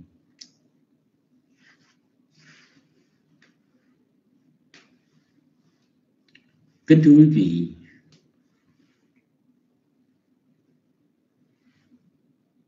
thực ra thì à, cái mốc thời gian đó, giữa năm cũ và năm mới. Hồi ờ, còn trẻ đó, hồi còn nhỏ thì ờ,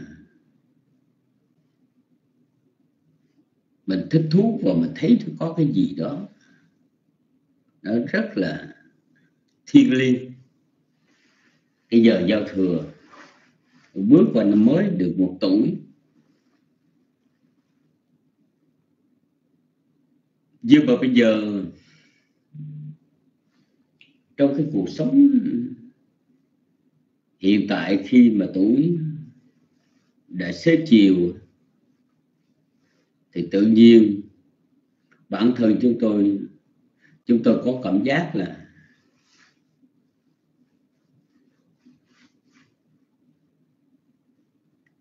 không có không có chờ đợi, không có đón mừng cái đêm giao thừa.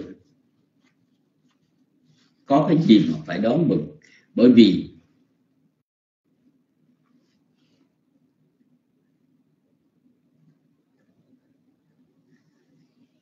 đó là cái dấu hiệu hay là một thiên sứ báo tin cho biết là mình thêm một tuổi già, thêm được một tuổi già.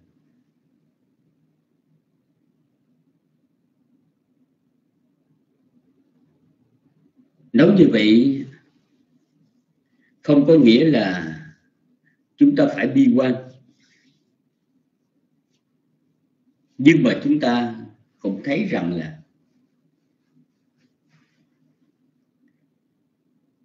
một ngày có 24 giờ đồng hồ, ngày và đêm 24 tiếng đồng hồ.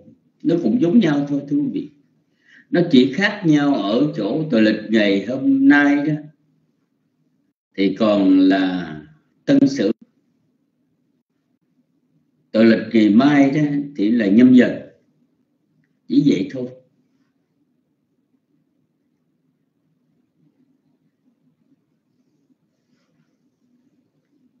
Và ở đây nếu mà nói theo Phật pháp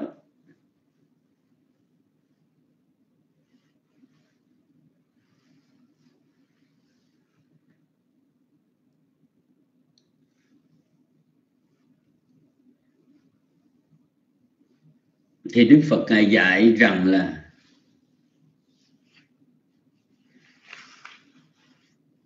Achentikala Tarayanti Rapio Vayohuna Anupapang Chahanti Etang Phayang Marne Bikhamano Lokamisang Pachahe Santibiko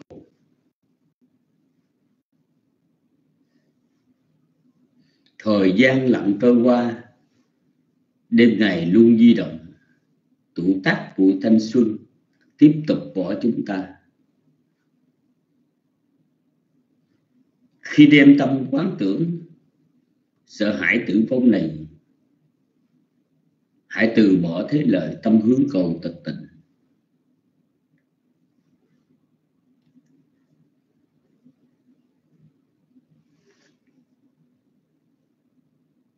Đức Phật thì ngài khuyên như vậy.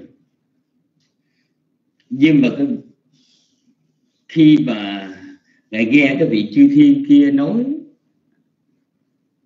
một vị chư thiên một vị trời vào đêm đã hiện xuống đảnh lễ Đức Phật và nói lên bài kệ.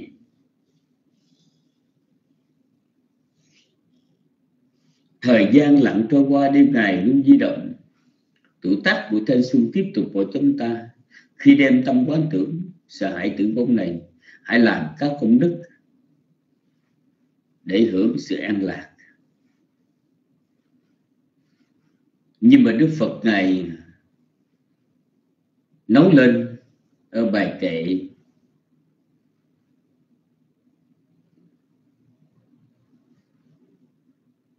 có cái sự tiến bộ cho chúng sanh hơn là nếu mà sợ cái sự luân hồi sanh tử. Mà cố gắng làm phước để hưởng được cái an lạc trong cuộc đời của con người trong tương lai thì như vậy vẫn còn nằm ở trong cái sự lẫn quẩn. Thay vì khi mà quán tưởng, thấy sợ hãi trong cái sự chết thì hãy từ bỏ thế lợi cái chữ thế lợi ở Luca Bisăng ở đây đó nó có ba nghĩa. Cái nghĩa thứ nhất nếu đối với bậc xuất gia đó các vị tỳ kheo những vị tu hành đó, thì nên từ bỏ cái lợi lộc. Đừng có thích thú những cái lợi lộc mà người ta đem đến từ cúng dường hãy từ bỏ thế lợi tâm hướng cầu tịch tịnh, tức là hướng đến niết bàn còn cái nghĩa thứ hai, chữ thế lợi đó, tức là mình không có người cư sĩ, mặc dù sống hưởng thụ sắc thinh hương vị xúc, hưởng thụ cảnh nhưng mà Đức Phật khuyên người cư sĩ phải từ bỏ thế lợi nên thấy cái lợi lạc của thế gian đó. Nó là miếng mồi bẫy mồi của ác ma. Biết nó có cái vị ngọt, nhưng cần phải thấy cái sự nguy hiểm và phải xuất ly người cư sĩ mà thấy được như vậy, biết được như vậy Đức Phật ngài khen ngợi, đó là người cư sĩ ưu tú.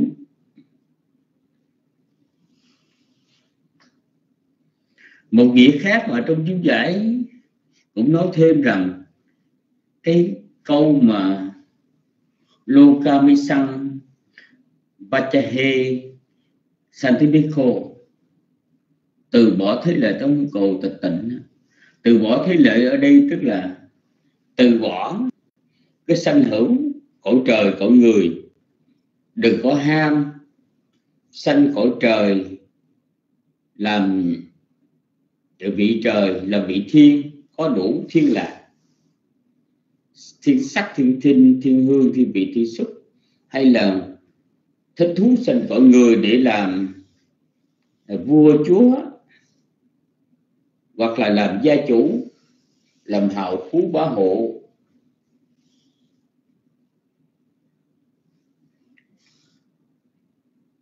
Cái gì nó cũng có một thời. Những vị vua chúa rồi cũng có ngày tàn. Các trưởng giả bá hộ ông hương cả ở trong làng. Hoặc là ông hội đồng. Giàu có, quyền thế ngay cái thời đó, hét ra lửa như vậy. Nhưng mà rồi cũng phải bỏ lại tất cả. Cho nên cái sự sanh tử luân hồi đó, thưa quý vị, trong ờ, bộ quý phân gác bộ thứ hai của tạng diệu pháp tặng thắng pháp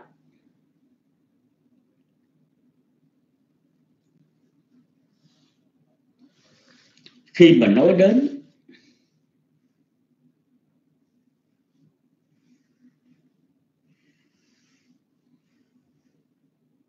tuổi thọ của chúng sanh, thì cuối cùng thì Đức Phật ngài đã kết luận rằng cho dù tuổi thọ dài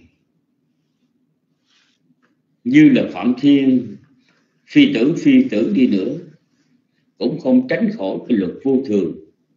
Sẽ đến lúc đó, khi chấm dứt tuổi thọ, phải tái sanh trở lại ở cõi dục giới và phải luân chuyển.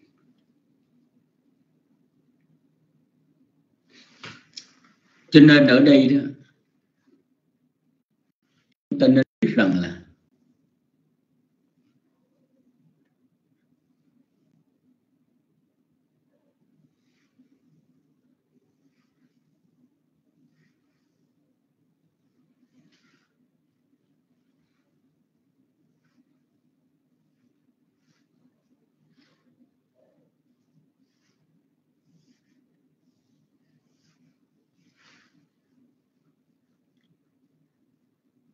mùa xuân đến.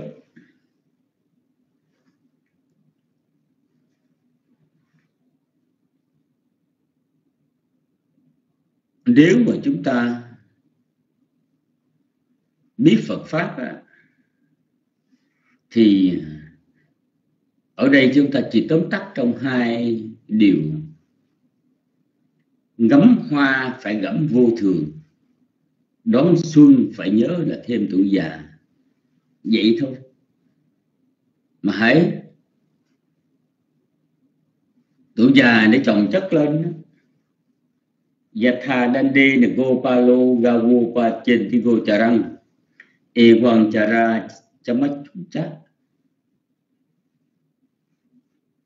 Pa Chenti Pa Ni Năng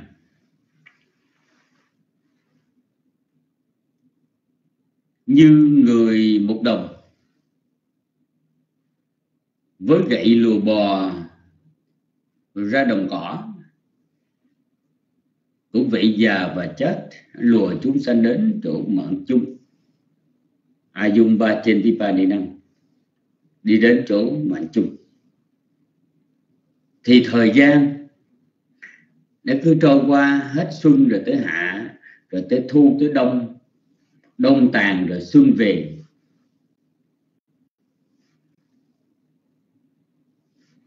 Khi mà mình phất phớt tỉnh, thì mình nghĩ rằng qua mùa xuân là cái gì nó cũng đẹp, nó cũng vui. Nhất là cái thời trẻ. Nhưng mà khi đến cái tuổi xế chiều rồi thì mỗi một xuân đến là mình càng tiến gần đến cái chết, tiến gần đến cái chết. Cũng giống như là một đồng với gậy lùa bò ra đồng cỏ. Cứ mỗi một bước chân đi là nó tiến gần đến cái đồng cỏ. Cũng vậy, cái thời gian một đồng và cái gậy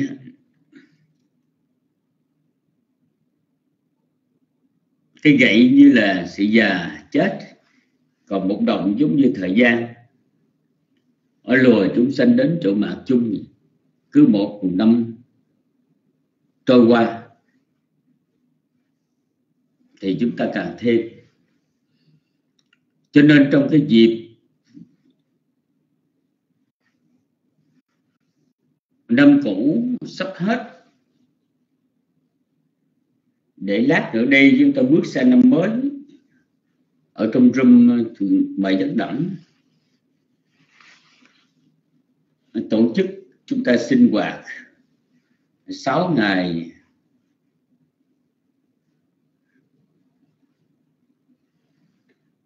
Xuân đặc biệt. Thì hôm nay là cái ngày mà thượng tọa nhất đẳng pháp thoại cuối năm. Thì ờ, chúng tôi xin có một đôi lời như là pháp đàn trong cái dịp cuối năm này. Dù sao đi nữa thì cũng theo cái phong tục là chúc Tết đến cho quý vị. Chúc tất cả được sẽ an vui tiến hóa trong cái việc tu tập và thuận may trong cuộc sống. Nam mô bổn thầy.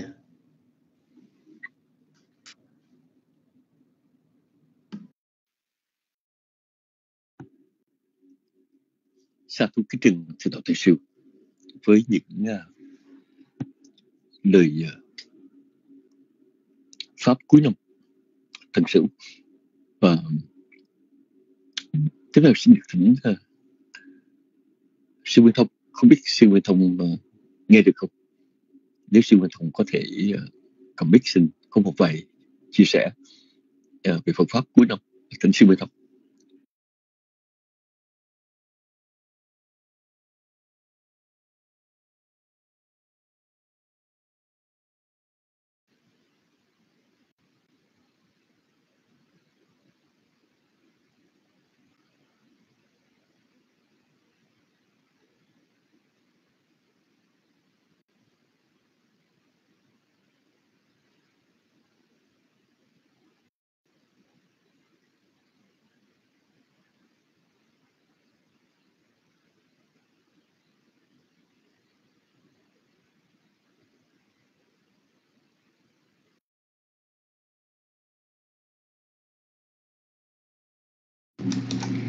Dạ, con thỉnh sư Nguyên Thông coi lại mic của mình đạo tràng không nghe được âm thanh của sư.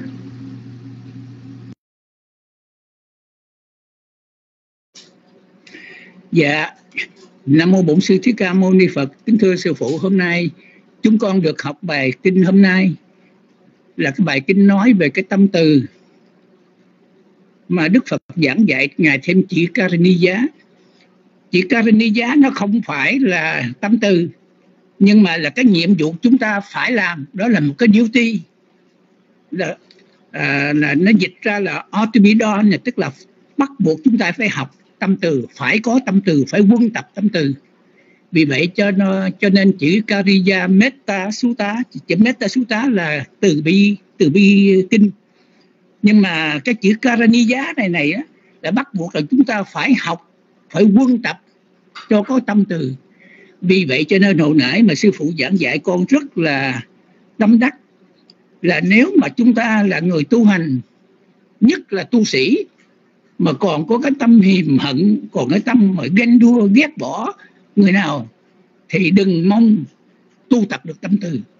Bởi vì cái tâm từ như sư phụ nói, người nào mà có mong, xin lỗi, có mong mà cái hiềm hận ai, bỏ ai thì không có tu tập được cái tâm từ.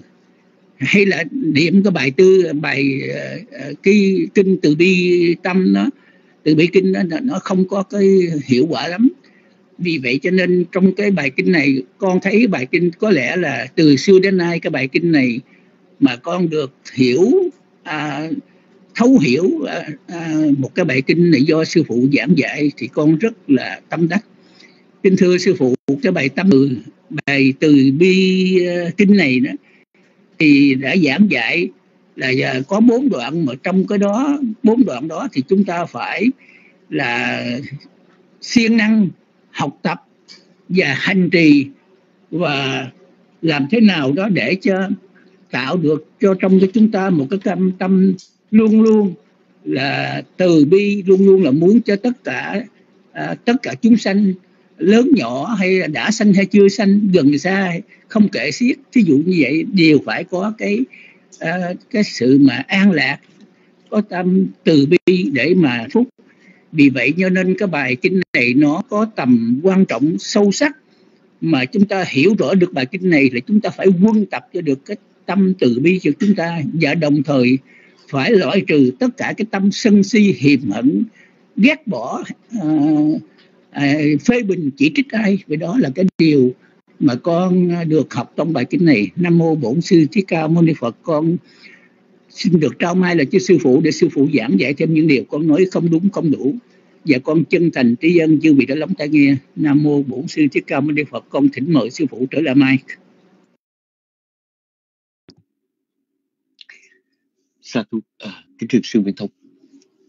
Thưa vị à, à, uh, 10 phút uh, cuối của chương trình ngày hôm nay xin được uh, thỉnh Di Tổ Đức và mời quý Phật tử nếu chúng ta nhìn lại một năm vừa qua năm Tân Sửu với 12 tháng mà chúng ta đã trải qua những thăng trầm vui buồn và nhiều cái hoàn cảnh khác nhau thì cuối năm nhìn lại thì chúng ta có cái tâm nguyện gì?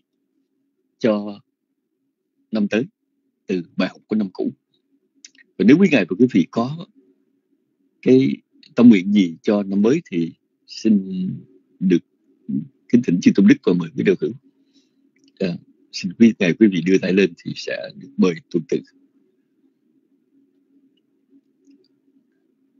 một lần nữa xin được hỏi rằng có vị nào có điều gì uh, Ờ, nói về cái tâm nguyện hay không? Trong thời gian chờ đợi thì cũng xin chia sẻ được uh, xin chia sẻ một vài điều. Thưa quý vị uh, năm nay nếu mà quý phật tử về chùa pháp luân thì uh, quý vị sẽ thấy rằng chúng tôi có một cái biểu tượng biểu tượng hình con cọp, tại vì đây là năm nhâm dần nhưng mà không phải con cọp bình thường, mà là con cọp mẹ tha con cọp con. Tại sao chúng tôi dùng biểu tượng này để làm cái chủ đề cho những ngày đầu xuân ở tại chùa? Bởi vì thưa quý vị, trong nhiều quyển sách Phật pháp và đặc biệt là trong bộ thành thực luận của Hari Bạc Ma thì hình ảnh của con cọp mẹ tha con cọp con đó là một cái biểu tượng của điều mà chúng ta gọi là trung đạo. Quý vị thấy rằng cọp con còn nhỏ, mà cọp mẹ thì cái răng thì rất là bén. Nhưng mà khác với người chúng ta là con cọp mẹ không có bồng ẩm được con và phải ngậm con mà tha đi.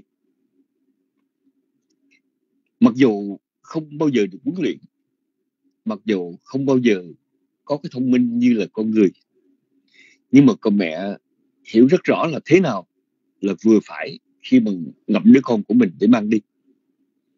Ngậm đứa con mà lơi quá đó và mà không chắc á, thì đi dọc đường con sẽ rớt nhất là nhảy từ gần đá này sang gần đá khác. Mà nếu mà mình ngậm quá chặt thì cái răng bén của mình sẽ cái răng bén của con cọp đó, sẽ cắn sẽ đâm thủng da làm đau cục con. Vì vậy hình ảnh con cục mẹ than cục con đó, nói lên một cái gì rất là vừa phải cái gì rất là khéo cái gì rất là thiên xảo trong cái chuyện chuyên chở. Mình học đạo cũng vậy và mình sống cũng vậy. Cái gì vừa phải là cái mức độ mà chúng ta tạm gọi là nghệ thuật ở trong nho giáo người ta nói có hai cái đức gọi là đức khoan và đức nghiêm. Khoan là khoan hồng. Nghiêm là nghiêm khắc. Nghiêm quá nhưng xã hội pháp trị về ứng của vương an thạch thì cũng sanh loạn. Mà khoan quá đó, thì thưa quý vị, nó cũng tạo ra những cái xáo trộn của xã hội. Như câu chuyện chưa vua chuyện lương vương, mà thấy người ăn trộm đem đến hỏi tội mình nói rằng vì nghèo nên ăn trộm nhà vua mới cho tiền. Về để không đi ăn trộm nữa, mà không ngờ sau đó người ta lại ăn trộm nhiều hơn. Bởi vì người ta nghĩ rằng ăn trộm thì sẽ bị bắt bị bắt thì gặp vua gặp vua thì lại được tiền. Thì như vậy ta sao không đi ăn trộm. Thành ra trong cái xã hội mà khoan quá với nghiêm quá đó, thì cái nào đó cũng cực đoan hết. Đời sống của chúng ta cũng vậy. Và hình ảnh con cọp mẹ, than cọp con là một cái hình ảnh rất đẹp. Hình ảnh mà chúng tôi nghĩ rằng muôn thuở, nó vẫn có một cái giá trị, bởi vì chúng ta là con của Đức Phật. Và hơn ai hết, Đức Phật ngài là chỉ dạy chúng ta nên tránh xa cực đoan. Cái gì thái quá, cái gì bất cập, cái gì cực đoan được tai hại hết. Và cái tâm nguyện của chúng tôi trong năm mới này là mong rằng tất cả chúng ta từ những bài học của nhân loại, từ những bài học của nước Mỹ, từ bài học cuộc sống chúng ta sẽ tìm về cái gì, gọi là vừa chừng, vừa phải, thích nghi, không có cực đoan. Chỉ có tinh thần dung dị chỉ có tinh thần trung dung, chỉ có tinh thần trung đạo, chỉ có tinh thần sống, có mục đích mà biết thỏa hiệp, thì chúng ta mới có thể chung sống hòa bình. Không có một xã hội nào cực đoan mà không có không có trao đảo, không có sự cực đoan nào mà không dẫn đến điêu linh không có sự cực đoan nào mà nó tạo cho con người có sự phát triển lâu dài hết. Chủ nghĩa phát xít cũng là một thuyết chủ nghĩa cực đoan, chủ nghĩa cộng sản cũng là một chủ nghĩa cực đoan, chủ nghĩa tư bản cũng là một chủ nghĩa cực đoan. Con người, thưa quý vị, khi mà chúng ta nghĩ con người thì dù là cá nhân hay xã hội loài người cũng đều rất cần đến một cái sự trung dung. Nó không quá nặng về bên này, không quá nặng về bên kia và điều đó là điều khó tại vì bản chất của chúng ta là bản chất rất cực đoan. Thưa quý vị ờ, ờ, đó là một tâm nguyện. Đó là điều mà chúng tôi mong muốn sẽ chia sẻ với quý phật tử trong cái phục đầu năm. Và bởi vì ngày mai này chúng ta mới qua ngày tết nên chi chúng tôi cũng chỉ uh, xin được vài lời. Xin chi tăng quan hệ giúp uh, có bị gấp một chút xíu xin chị tăng quan Nghĩa giúp uh, tiếp theo tiếp lời dùm cho hãy quý vị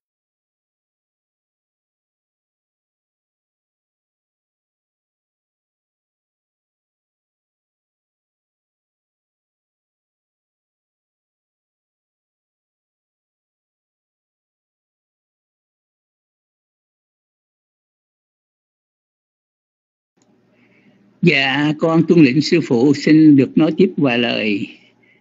Đã gì nãy giờ con chờ không thấy vị nào à, giơ uh, tay.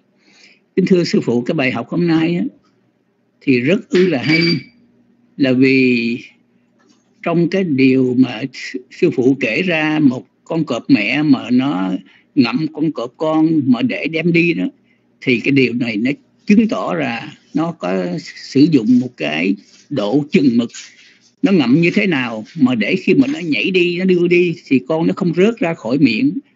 Và mà nó cũng không có ngậm nó cũng không ngậm quá mạnh là vì cái răng nó sẽ làm con nó đau đớn. Cái điều đó là một cái thí dụ để cho chúng ta phải biết cái chừng mực. Tay nó có câu là tôi làm quá đáng hoặc dầu mà, mà nghiêm khắc quá. Như vương an thạch thí dụ vậy làm con người ta cũng khổ sở mà khoan dung quá như một vị vua nào đó mà khiến người ta lại điều mà cái điều đó là cái chừng mực mà cái là trung đạo. Và cái trung đạo đó là cái điều mà đức phật của chúng ta đã thấy ra đó là một con đường thánh đạo bát chi phần để mà à, thoát khỏi những cái đau khổ trên trần gian này.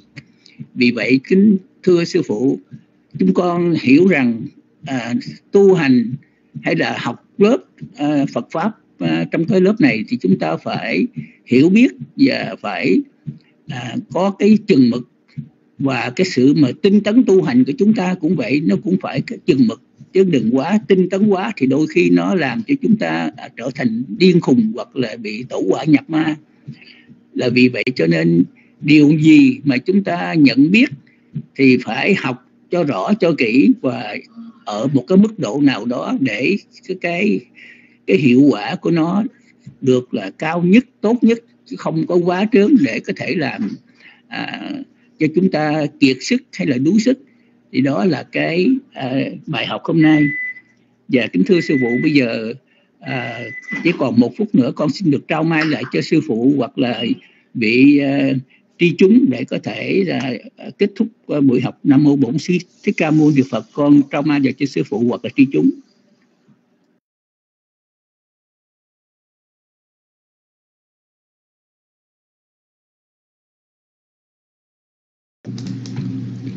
Dạ, sa thú sa thú con thành kính đảnh lễ tri ân sư Nguyên Thông à, đã đỡ mít giờ chót. Dạ con kính tri ân để Đức Đại Tri cho con biết được tín hiệu con Nhật Huỳnh xin thay mặt đại chúng trong rung chúng con kính tri ân chư tôn đức đã mở lòng bi mẫn giảng dạy những giáo nghĩa vi diệu của Đức Phật để toàn thể chúng con được lắng nghe, ghi nhớ và hành trì trong tuân trị, không làm các ác nghiệp, hưng tu các hạnh lành, thanh tịnh hóa tâm ý như lời chư Phật dạy. Kính cảm ơn đại chúng đã lắng tâm thánh tịnh thính pháp. Kính cảm ơn quý ớp để yểm trợ cho các phần hành trong lớp học được hoàn tất mỹ mãn chúng con kính chúc chư trung đức và quý đạo hữu luôn an lạc các tường trong chánh pháp nhiệm màu của Đức Thế Tôn. Để kết thúc chương trình, xin chúng ta nhất tâm hồi hướng